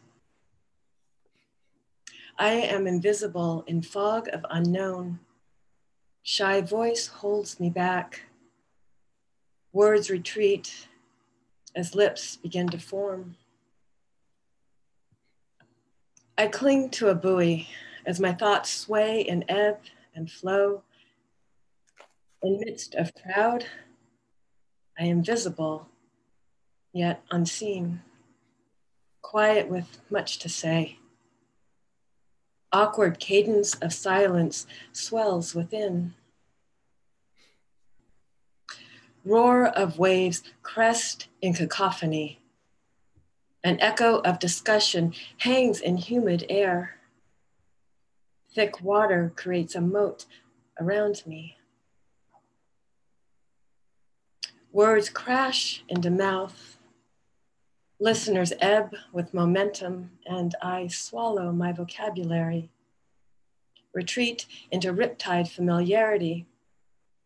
Safe, lonely. Exhaustive emptiness. With so much to say and no one to listen. I give up the struggle. Let salt water hold my body. My own tears remember the contours of melancholy. I watch shore fade as I drift from land, where crescendo collapses into distant hush, and alone feels less alone than single in a crowded room where I breathed invisible and My voice went unspoken. That's all. Thank you. That was beautiful. Thank you, Dayna. Thank you. You're so not invisible. so Thank not. you. All very visible. From Paris to Kathmandu to, I think Ireland has gone to sleep, but anyway, we're here.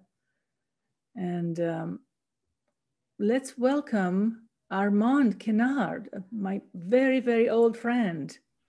He was there at the very first Rap Saloon, guys.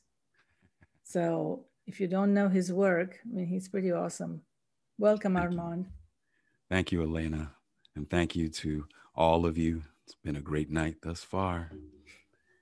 And I got this piece right here, nice little snack for you. Let's see how it goes.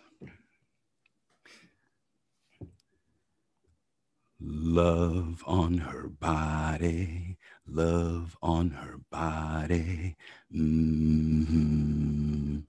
Love on her body, love on her body. Mm-hmm. Tonight her elbows will fill me up, followed by phalanges. Then I will read her skin. It is all written there.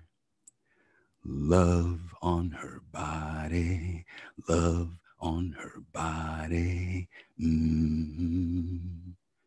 A pleasant scent from long ago, corset and cobblestone memory glow. Now brought here, flickering candles. Her voice under the moon, together we will bloom as the children of night.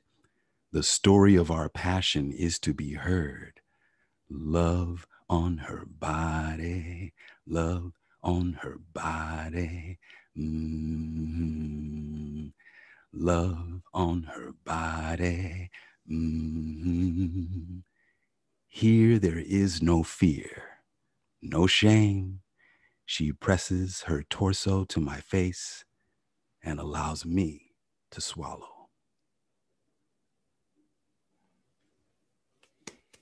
Thank you. Ouch, ouch, ouch. Ow. Ouch. Thank you. Thank you. Thank you. Okay. Um, I see Susan Rogers is, is in the house. Susan? Thank you, Armond. Susan? Oh yeah. Okay. I'm, I'm just having I'm having some difficulty with my phone, Elena. So maybe that's why I was kind of going off and mute, and then it's having some trouble. So maybe go to the next person first because it's Okay. All right. Here we go. Let me see. Is there another page or are we all on one page now? I think we're on, on one page. So, um, Eva, are you reading something?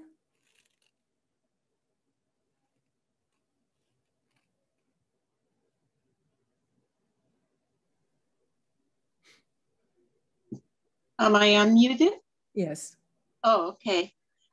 Um, I'm going to read a poem by that my husband Evan Mike West wrote, and it is in his newest uh, poetry book, Cold Blue Roses, and it's based on a painting that belonged to my parents, and I inherited it.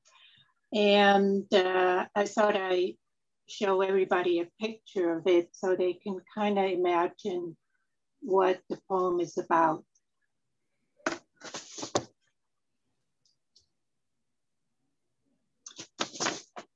It's called The Inherited Painting. High up on the high wall of our bedroom, there is a painting of a pastoral grove in sunshine. It is a nice expressionist piece that we love very much. I remember it from first seeing it at my late in-laws house in its prominent living room place. It seemed more at home in their house, but they are gone and the house belongs to other people now. decades later. And the painting, well, we have given it a good home, even though we did not buy it, did not decide to sacrifice other niceties to own it, did not agree that it was too amazing not to own it, did not congratulate each other on acquiring it. Hanging it so prominently, it is more a piece of the past than an artwork we had to have above all. And yet, there is a chain of ownership we are proud to acknowledge. And we're proud to love it for the extra reasons that go with missing loved ones. But today, after 30 years, we talk about it as a fantastic piece of art like we were the lucky original acquirers, like it chose our wall after decades of other appreciators.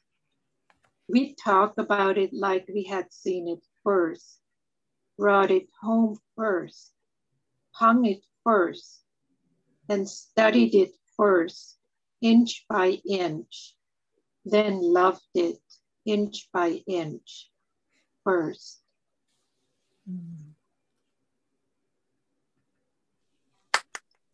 Thank you.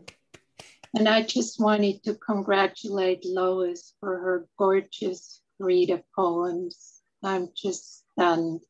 Thank you, Lois, for reading those.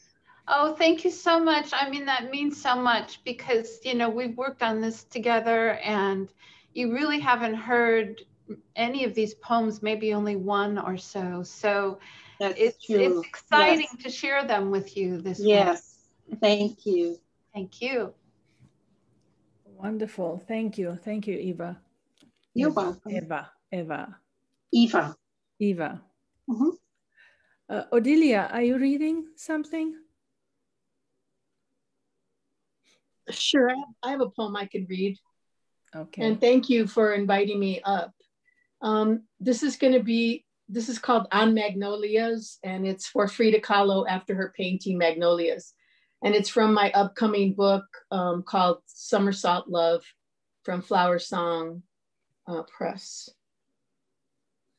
You painted magnolias, pure smelling and white, the color of soft linen, a canvas you entered, then slashed open wounds and bled upon shadows, loss of life and love splayed in living color, splattered onto ecru in shades of flowers you braided into your hair. Back to get to the future, you time walked into your paintings, attached to your other you, reconnected to mother roots that reach the ancestors. You bled everywhere in beauty as bold as you, a constant image emblazoned across our retinas, burning and wet with tears we've shed along with you, fragile and wild and in love with the world. Thank you. Oh, thank you. Thank you, Odilia. Thank you. Gracias. Okay, um, Jeff, uh, Jeffreys, RJ, RJ Jeffreys. Are you there? All the way in Boston? Might, might have to unmute myself. That would be a good start. Uh, Yeah, I am. I'm, I'm still semi-conscious. Okay. This might be a little bit long, but to hell with it. It's called When on My Horse as One. A meridian sun spots our direction as an azure sky spans boundless before us. We ride to discover the horizon's secrets in rolling hills and a virgin trail in the distance of an open range as one. Along an enchanted mesa we gallop, heart and hoof beating in synchronicity. The rhythm of the ride in every stride. She my saddled wind, and I her airy mount, as one. Ancient verdant pastures draw us near. Whispers in the wind beckoning, come brush my tall wild grass. Roll across my gentle meadows, resplendent with wildflowers in bloom. Their glory is a gift I lay before you, only this I ask in return. Leave my beauty as you found it and come back soon to me as one. That's it. Hmm. Lovely. Thank you. Thank you, RJ. You're welcome, Elena. Thank you. Uh, Susan, did you sort it out? Yeah. Okay. Susan Um, Rogers, everybody. Sorry. Do, do we get to see you? um, Okay, there we go. Can, can I, I'm, I'm back on video. Can you see me? No. I'm having, I mean, now, maybe? No. Is it go, is it, okay. There you go. You Well, you know, it doesn't matter if you see me or not. It's okay.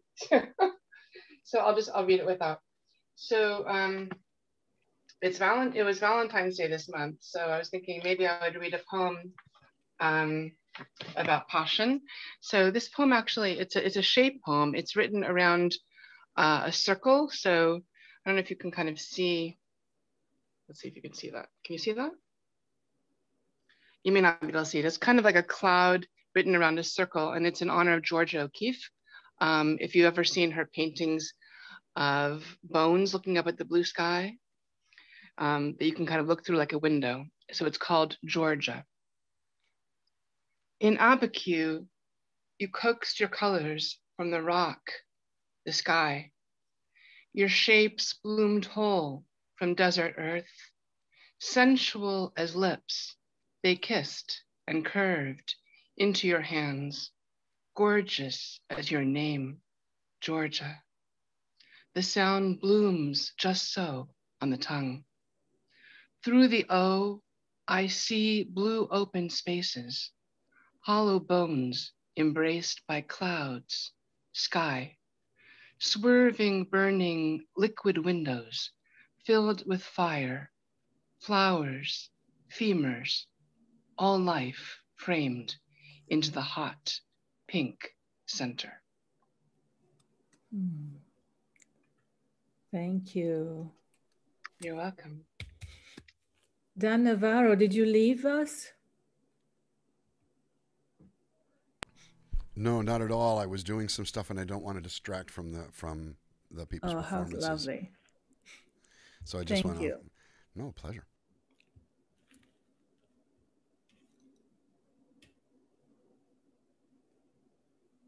Okay. I'm misunderstanding. Are you calling on me? I'll do it. Yeah, yeah, yes, I'm yes, sorry.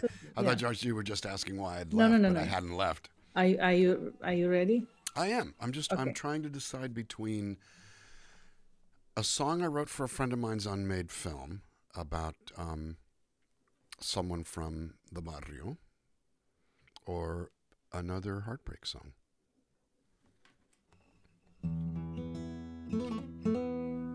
When in doubt, there's always heartbreak. There you go.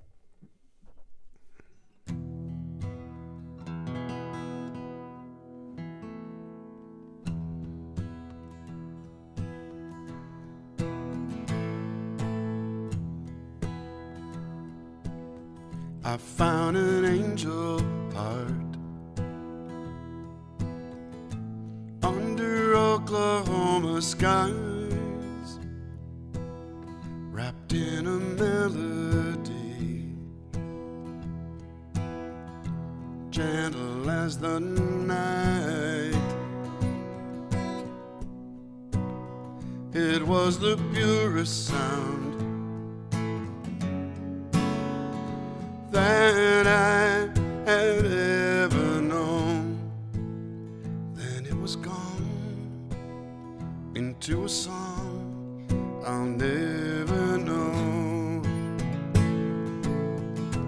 I felt the sweetest words a heart could ever hear reach deep inside of me before they disappeared. And as I held them close, I had to let them go without a trace into a place I'll never know. Now I'll try understand Understanding comes so slow. I am a simple man, holding steady as she goes.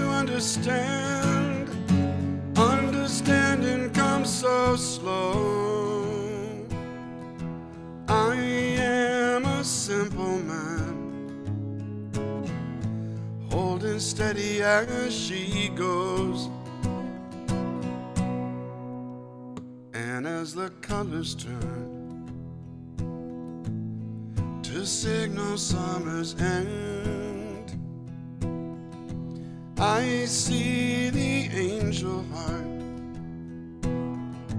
riding restless as the wind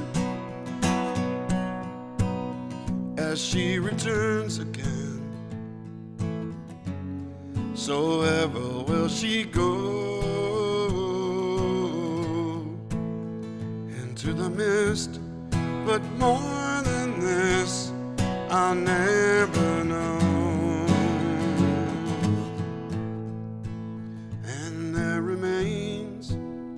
A sweet refrain I'll never know. I found an angel heart under Oklahoma skies.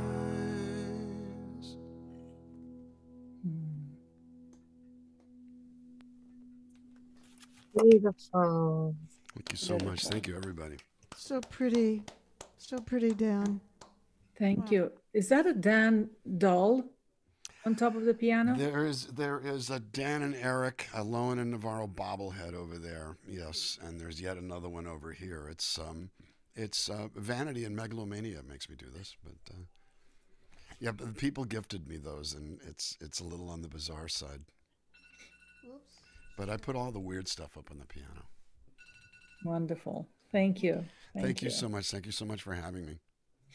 Thank I'm you. stick I'm sticking around. I ain't going. Oh yes, I mean we're, we're not going anywhere. Oh, exactly. We're going to have to. Um, thank you. Uh, hear Margo again because I think she's had some Par- some uh, Parisian coffee now, so she's awake.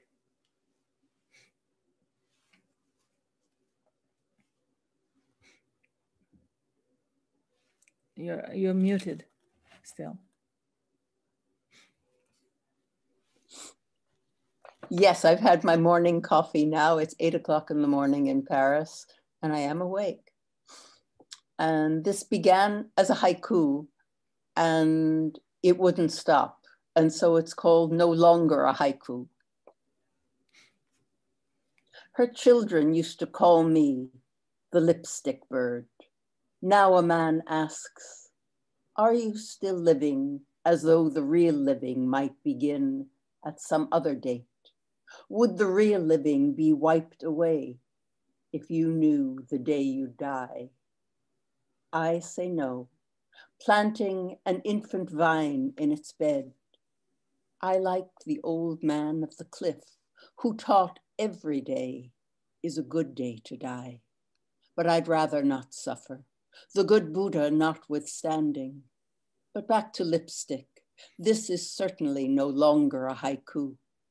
She says the child of her child, she who has many children, I who am an old woman and child of skies. She says the child of her child says, Look, lipstick apocalypse as the sun rises and stains the sky.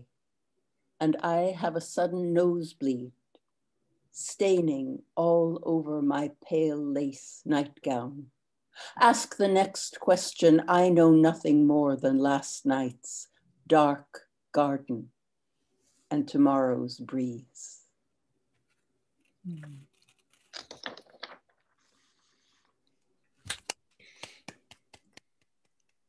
Thank you. Thank you, Margo. Alice, do you have something else?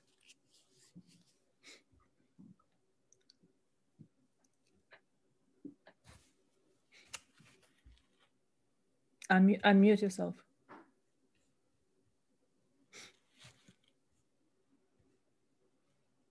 No, you're still muted. Unmute, unmute. I'm using my finger as though it's a phone. There you go. I know. Make it go off like that. Silly. Over the landscape. Truly, I have no sense at all anymore, spreading myself out like jelly all over the landscape, feeling not so much the colors, but the smoosh of it, a laying on of green, me green all over, and the bird's twitter adds a tickle up my spineless spine. I'm supine in the air, a floating that neither begins nor ends anywhere. Are you there? Or she? Or it? Go, don't figure, but figure yourself as part and parcel of this escape a smooth communion, an eclipse of body made, ready made, pre packaged senses, something just made, made to will, invisible, acting for myself, for the birds, the bats, the woodpecker knocking for another woodworm, or even for that tiny water bug on the water, the infinitesimal ripple before the beginning of strutting sun's day. Hmm. So good to see and hear you again, Alice. Thank you, Jim Bolt. Good to see and hear you, old time's sake. Yup. that was a sweetheart of a poem there. Thank you. Thank you.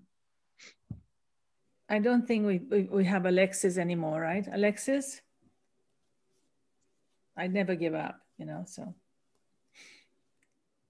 Okay, moving on, moving on.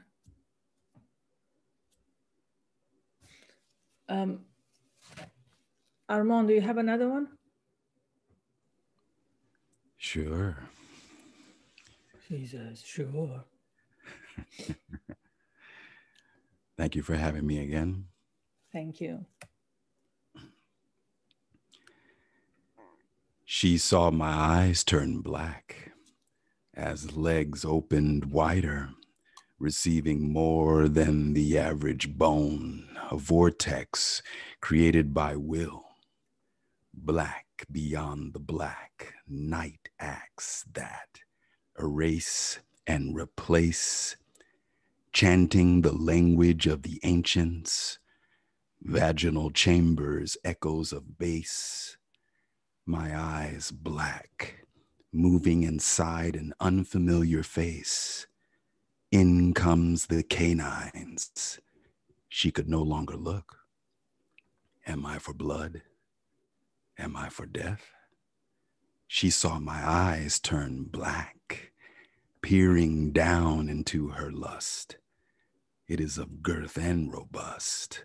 A sudden chill swells. Her mind wanders underneath me, seeing the galaxy through my eyes. Hmm. Okay, I'm. I need a cigarette Thank you, guys. Or something. I need something. I need. I need. I need to put something in. And that was beautiful. Thank you. Thank you.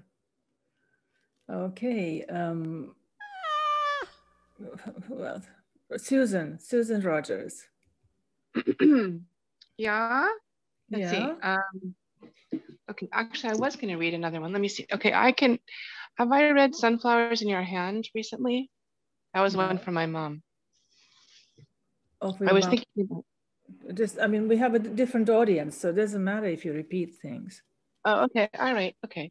So I think I read this before, but it recently, um, I recently gave the got the book. The it's from the Altadena Literary Review. I recently just got it in hand, and um, I was reminded of it. So let me read it again. It's um, it's ekphrastic. It's from um, from a, a image of someone holding a girl holding it from quill and parchment holding a sunflower in their hand. Okay, let me let me get it here. Okay.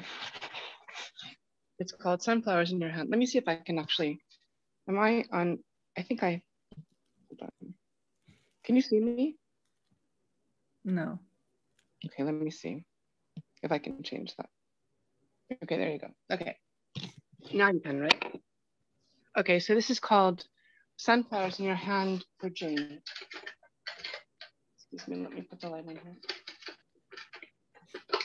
Okay.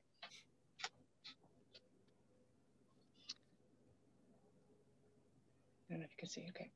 I wonder if I will recognize you when you return in a different form. I like to think your breath so intimately part of mine that when you are reborn, even if you wear white organza as a bride or the black habit of a nun, if you appear much younger than you were in a sweater striped in cyan blue with wild sunflowers in your hand, I will remember you. Just as I remember the shine of a sun dazzled stream after it's gone dry, the rhythm of staccato rain when I swing my hammock under cloudless skies, or the sound of laughter in a dream of exquisite joy, even if you choose to be my cat, a hummingbird, a bright skilled koi. And if you are born in another country, don't speak words I understand. If you're not female this time, but instead a boy, I hope there will be some note of you that sings. Your music indisputably through the differences of then and now. So I will know you are the one, that it's you come back in whatever form you come. It's wonderful, Susan. Good night, Elena. Good night, not everybody. Take care and stay safe. It was magical. Thank you for allowing me to be among, among such wonderful, talented people. You're all divine. Good night, RJ. Thank you. Good night, Jeff. Night, Nightingale. Good night. Okay. Elena Costa, do you have something? Oh, did I miss her?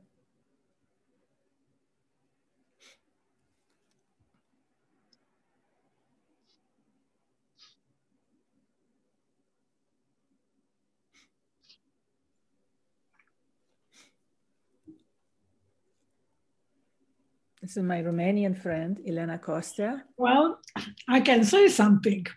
I can say that it was a beautiful evening, that I was very, very impressed by and touched, not impressed, touched, really touched by some of the poems and the songs.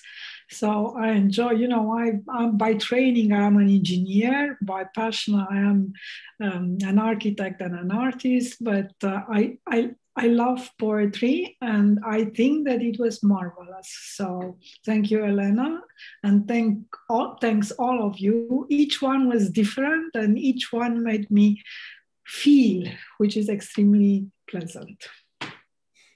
Thank you. Thank you, Elena. Okay, so how are we doing? Is, did I miss somebody? Does, would anybody else like to do something? I'll sing a song. Okay. Yes, okay. Can you sing our song, our favorite song? No, not that one. Not that one. Um, let's see here. well, we'll see if I can do this Um, it's uh, it's a song by Susie Williams. Do you know Susie Williams? Yeah, and she's an amazing person, and and and Brad Kay uh, did the music for it. I'm going to try to sing it. Uh, I hope I can do it. It's called Beat My Wings.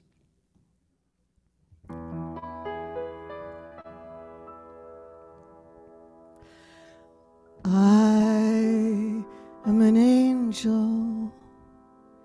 My mother told me so. And if my mother said so, then it's true. And I have tried to live my life in spite of all the strife.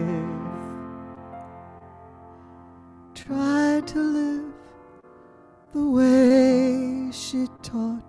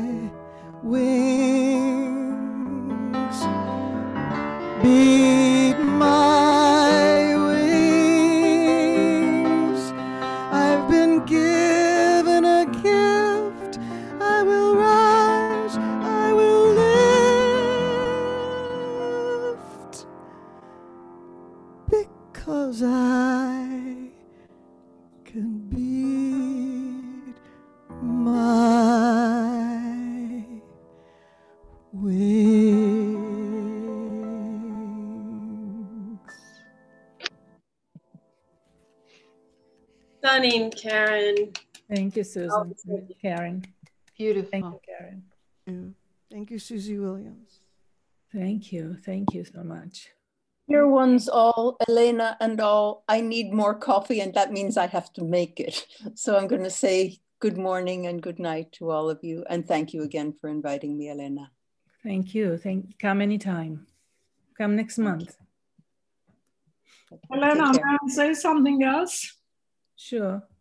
Yeah, well, I attended Elena's um, uh, poetry club in Santa Monica and I loved it. But I must say that I was kind of afraid of how will it be on Zoom. And I must say it was beautiful. In many ways, it was even nicer because I could see everybody so from much, so much closer. And because we had, you had guests from all over the world. So uh, I just wanted to comment the fact that Zoom does some very good things for this poetry club. And also, you are all poets, I am not. Uh, you are all uh, singers and artists, and I'm not. And I must say that I don't know if you feel so great because I think you should. There is so much sensitivity, there is so much human feelings in everything that you do that you should very, be very proud of yourself. Thank you, Elena. Thank you so much. Okay. Well said. I have another poem I could read. if There's time. Okay, sure. Go ahead, Dayna. Thanks. Um,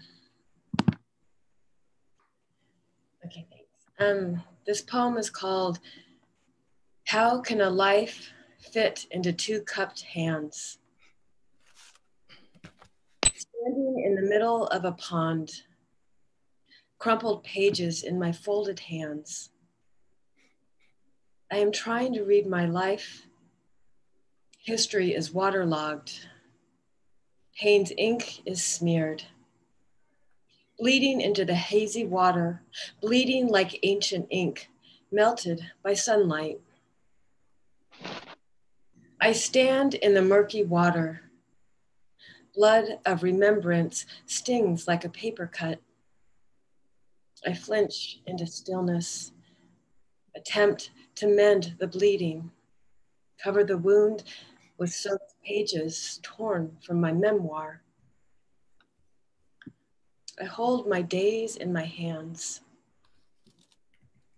How can a life fit into two cupped hands? Water sifts through sentences, decides which to keep and which to dissolve. I swirl my hands in circumference just beneath the surface. Motion resurrects memory. Ripples mm-hmm. exhale from my body. I begin to spin. I am dizzy. I am not moving. I am in the middle of nowhere.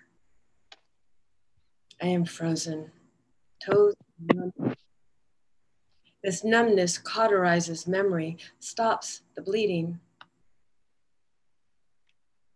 I need to thaw, hold on to all the pages, bleed the pain like toxin, name it, and let its written ink dissolve the debris that hinders fresh water from enfolding me.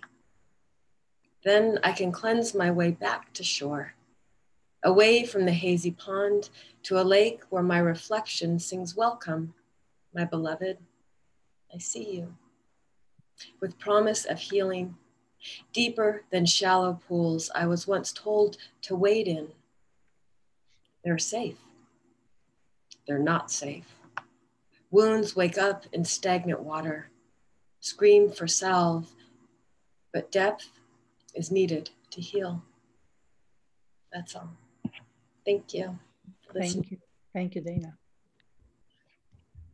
And now let's hear uh, another so uh, song, another, well, you can do a song and a poem, uh, Lois.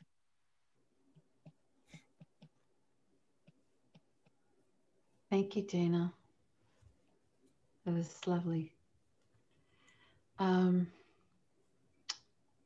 so I'm going to read this last poem. And I connected with a guy in uh, Dubai who is a poet and a painter. And we just, you know, on Facebook, he would. Uh, he would type a line, post a line in Arabic, and then I would translate it and I would go, oh my God, this is beautiful, you know. And I started seeing all these posts of his, and I thought, this is just incredible, an incredible poet. So we got to know each other, and I saw some of his paintings. Anyway, he surprised me a few years ago where he actually painted a portrait uh, of me and sent it to me. And so this is a poem called Ways to Paint a Woman. And um, it's after the portrait. Sometimes only color can speak for the heart. Sometimes you have to paint it yellow. Listen with the eyes, honeycomb in maze, golden rain flowers. Transform with your softest brush the way Lorca's bathing girl liquefies into water, half a head in fire. Sun burning a trail from forehead to cheek. Graze the mouth with mango. Make time to blend and take away. Use the green of a blind man when he says, You're beautiful, and means you're timeless. Show what the light gave her, washing warmth into a neck until it's dune, a cliffside that holds a head of surf. Paint as you would before you awaken. When sunlight falls like milkweed and you are an empty silo, letting her grain fill you, buttery malt and biscuit for the love of honey.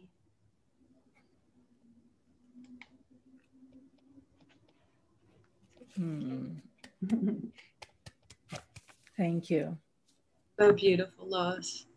Thank you. You have such amazing friends, and because you take such care to nurture your friendships, Lois. I love my friends. I mean, look at you. You're this incredible, generous, nurturing, amazing woman. And I'm so very lucky to have you in my life. So I appreciate I appreciate you and your gifts and your and your generosity and Thank you. Thank you. Well, thank you, everybody. I will do a very short poem and maybe a song, and then I'd like Dan to close with a song, if that's okay with everybody, because he missed my beginning. So, um, you are the daughters of the king. You are the daughter of the king, my friend and teacher once told me. Do not let anyone crush your spirit. Walk tall, wear your beautiful smile, and go on. I wish I had your courage. You are the daughter of the king. My father taught me that. For so long, I had forgotten who I was, giving in to everyone's needs and wants, everyone's schedules. I had forgotten until one day I threw guilt into the receding tide, claimed some time, and gazed at the glistening ocean. Everything came back. Warm breeze waiting there, the softest carpet laid at my feet. Glorious music all around, an unsurpassed royal welcome. You are the daughters of the king. Thank you all. Thank you for coming. And I'd like Dan Navarro to take us to Dreamland. Well, I generally find that people like to listen to my music when they're having trouble sleeping. It's. Uh...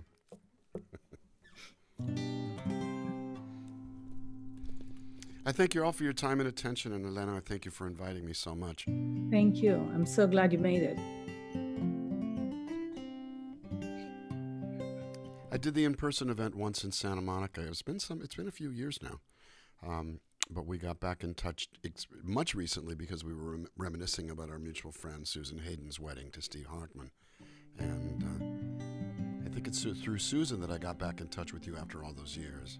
That's we really did meet. I, re- February 1980 at the Alibi Club in the Kings Road.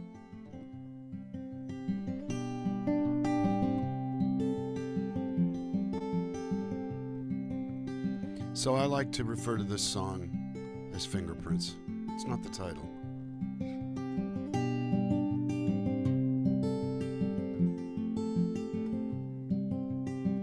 I dusted off my clothes, straightened out my nose, picked up my vanity, took it down the road with me. Facts I could not erase exploded in my face. What I could not repair, I just left lying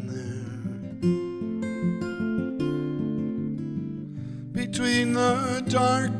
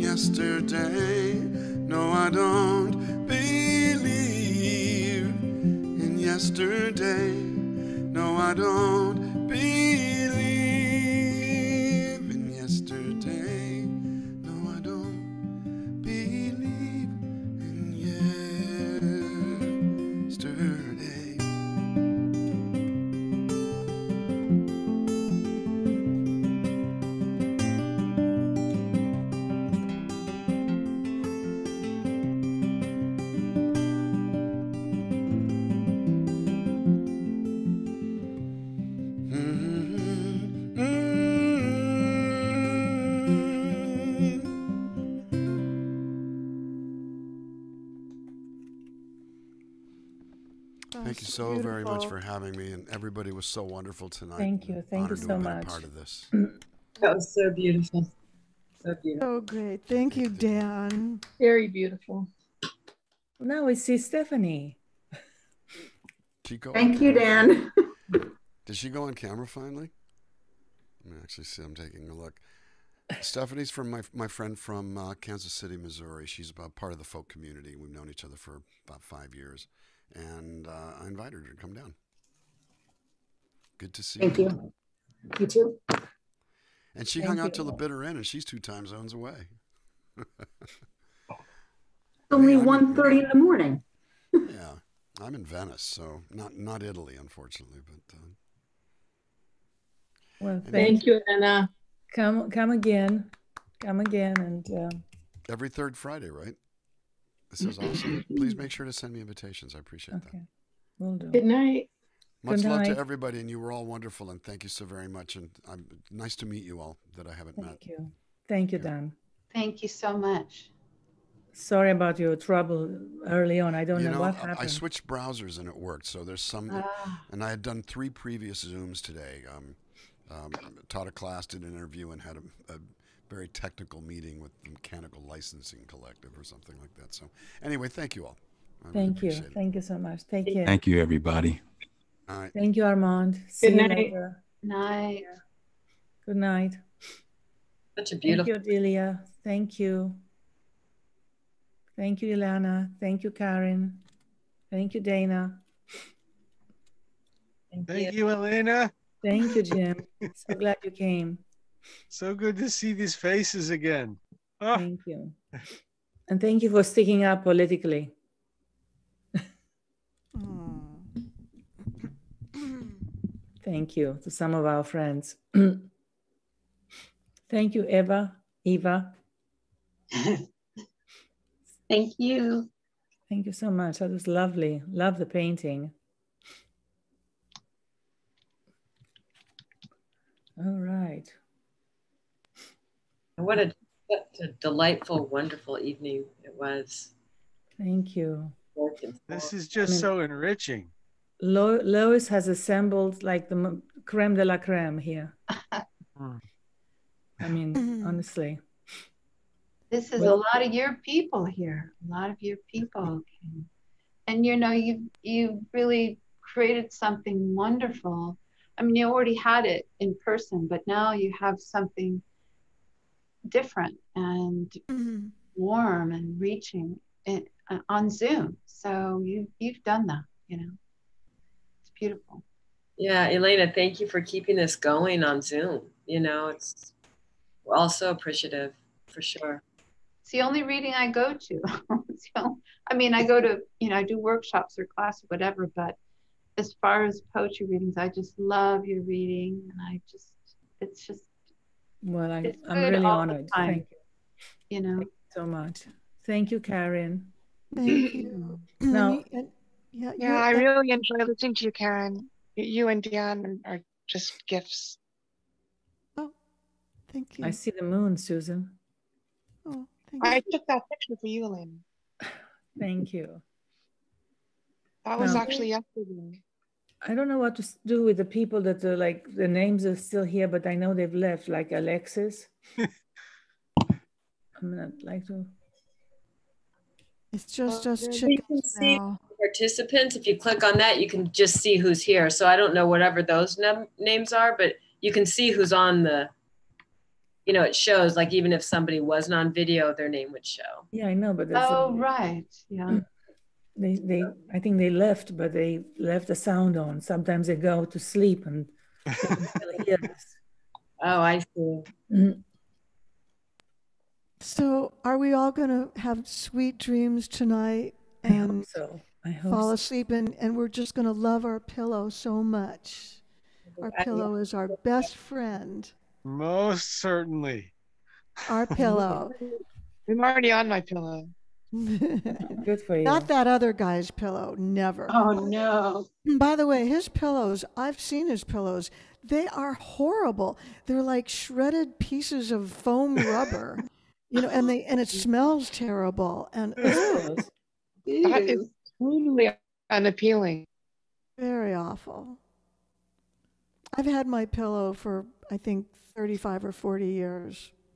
Really? That's amazing. Well, they don't make pillows like that anymore. All of the pillows are memory foam and you sink into it and you can't breathe.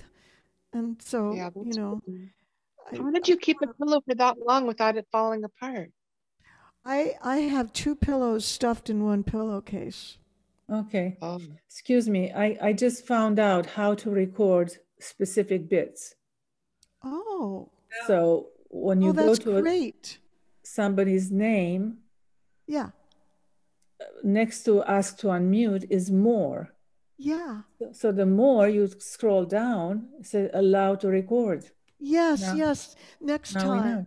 Oh, Next time. great. That's wonderful. Yeah. Because I was, uh, okay. So the people that are not here anymore, I can just remove, right? How do you know they're not here? Well, because they, they haven't spoken. So, like Alexis, hmm. you know, I mean, not that we're talking about her, but I mean, she's, Maybe they're shy. no, no. she's, she's probably asleep hours ago. So I'll just remove Alexis. I'm going to have nightmares about this. I'm going to have nightmares that I was removed. Oh, no. Just like like like by the punch of a button. No, because Boom. if, if, if, you, if you remove this, like you, you, they say, do you report to Zoom? No, I don't want to report anybody to Zoom. no, it- no, no. It just it it it literally. It's I I bet I'm going to have a nightmare about this, and if I do, I'm going to tell you. Oh, okay. Well, I was posted. disappeared. Keep me posted. Shrink. Well, people people are at home, so you can understand them falling asleep sometimes. That's right. Well, we, we have those soothing voices that we have. Yeah, I mean, I don't miss in person, but like right now, there's no there's no way I could have driven from Santa Monica home as tired as I am tonight. So I'm really glad to be in my bedroom. Yeah, and I see your pillows. I see your puffy little pillows there. They look wonderful. Aw. This is my pillow. I don't know if you Aw. could see it. The sky, Oh. pillow? it looks like the sky with the moon is your pillow. That's what Yeah, we. that's, the sky with my moon is my pillow. But also I have a I have a cat pillow. It's hard to see because it's dark. It's a it's a pillow that's in the shape of a cat. Aw. My best pillow is my dog's rump. Your dog is so cute. That's my best pillow. Thank you all. I hope you had fun, um, Lois. Oh, I did. It was great. It was great. So many different voices. And um, yeah. All I don't think I've ever had had everybody on two pages. There were two full pages. Yeah. it was- I hope I covered everybody. It was great. And um, I loved hearing everybody. And uh, I think I'm going to pass out right now. Me too. Good night, I'm everybody. going, Good night, going. Karin. Good night, Dayna. Good night, everyone. Jim, it's great good to night, see you. all. Good night. Good night, Jim, I haven't seen you since Moon Day on the Palisades. When you came to the Pacific Palisades. Oh my gosh. Wow. Right? And those were such potent readings, such Yeah. concentrated readings. Yeah, yeah. We High packed it all into that little room. Yeah, Alice Alice created something just so like I said, just so concentrated. Yeah. And, and potent with such caliber of poetry there. I loved it. Miss it. Yeah. I'm going to stop recording. I didn't realize I was still recording. Oh.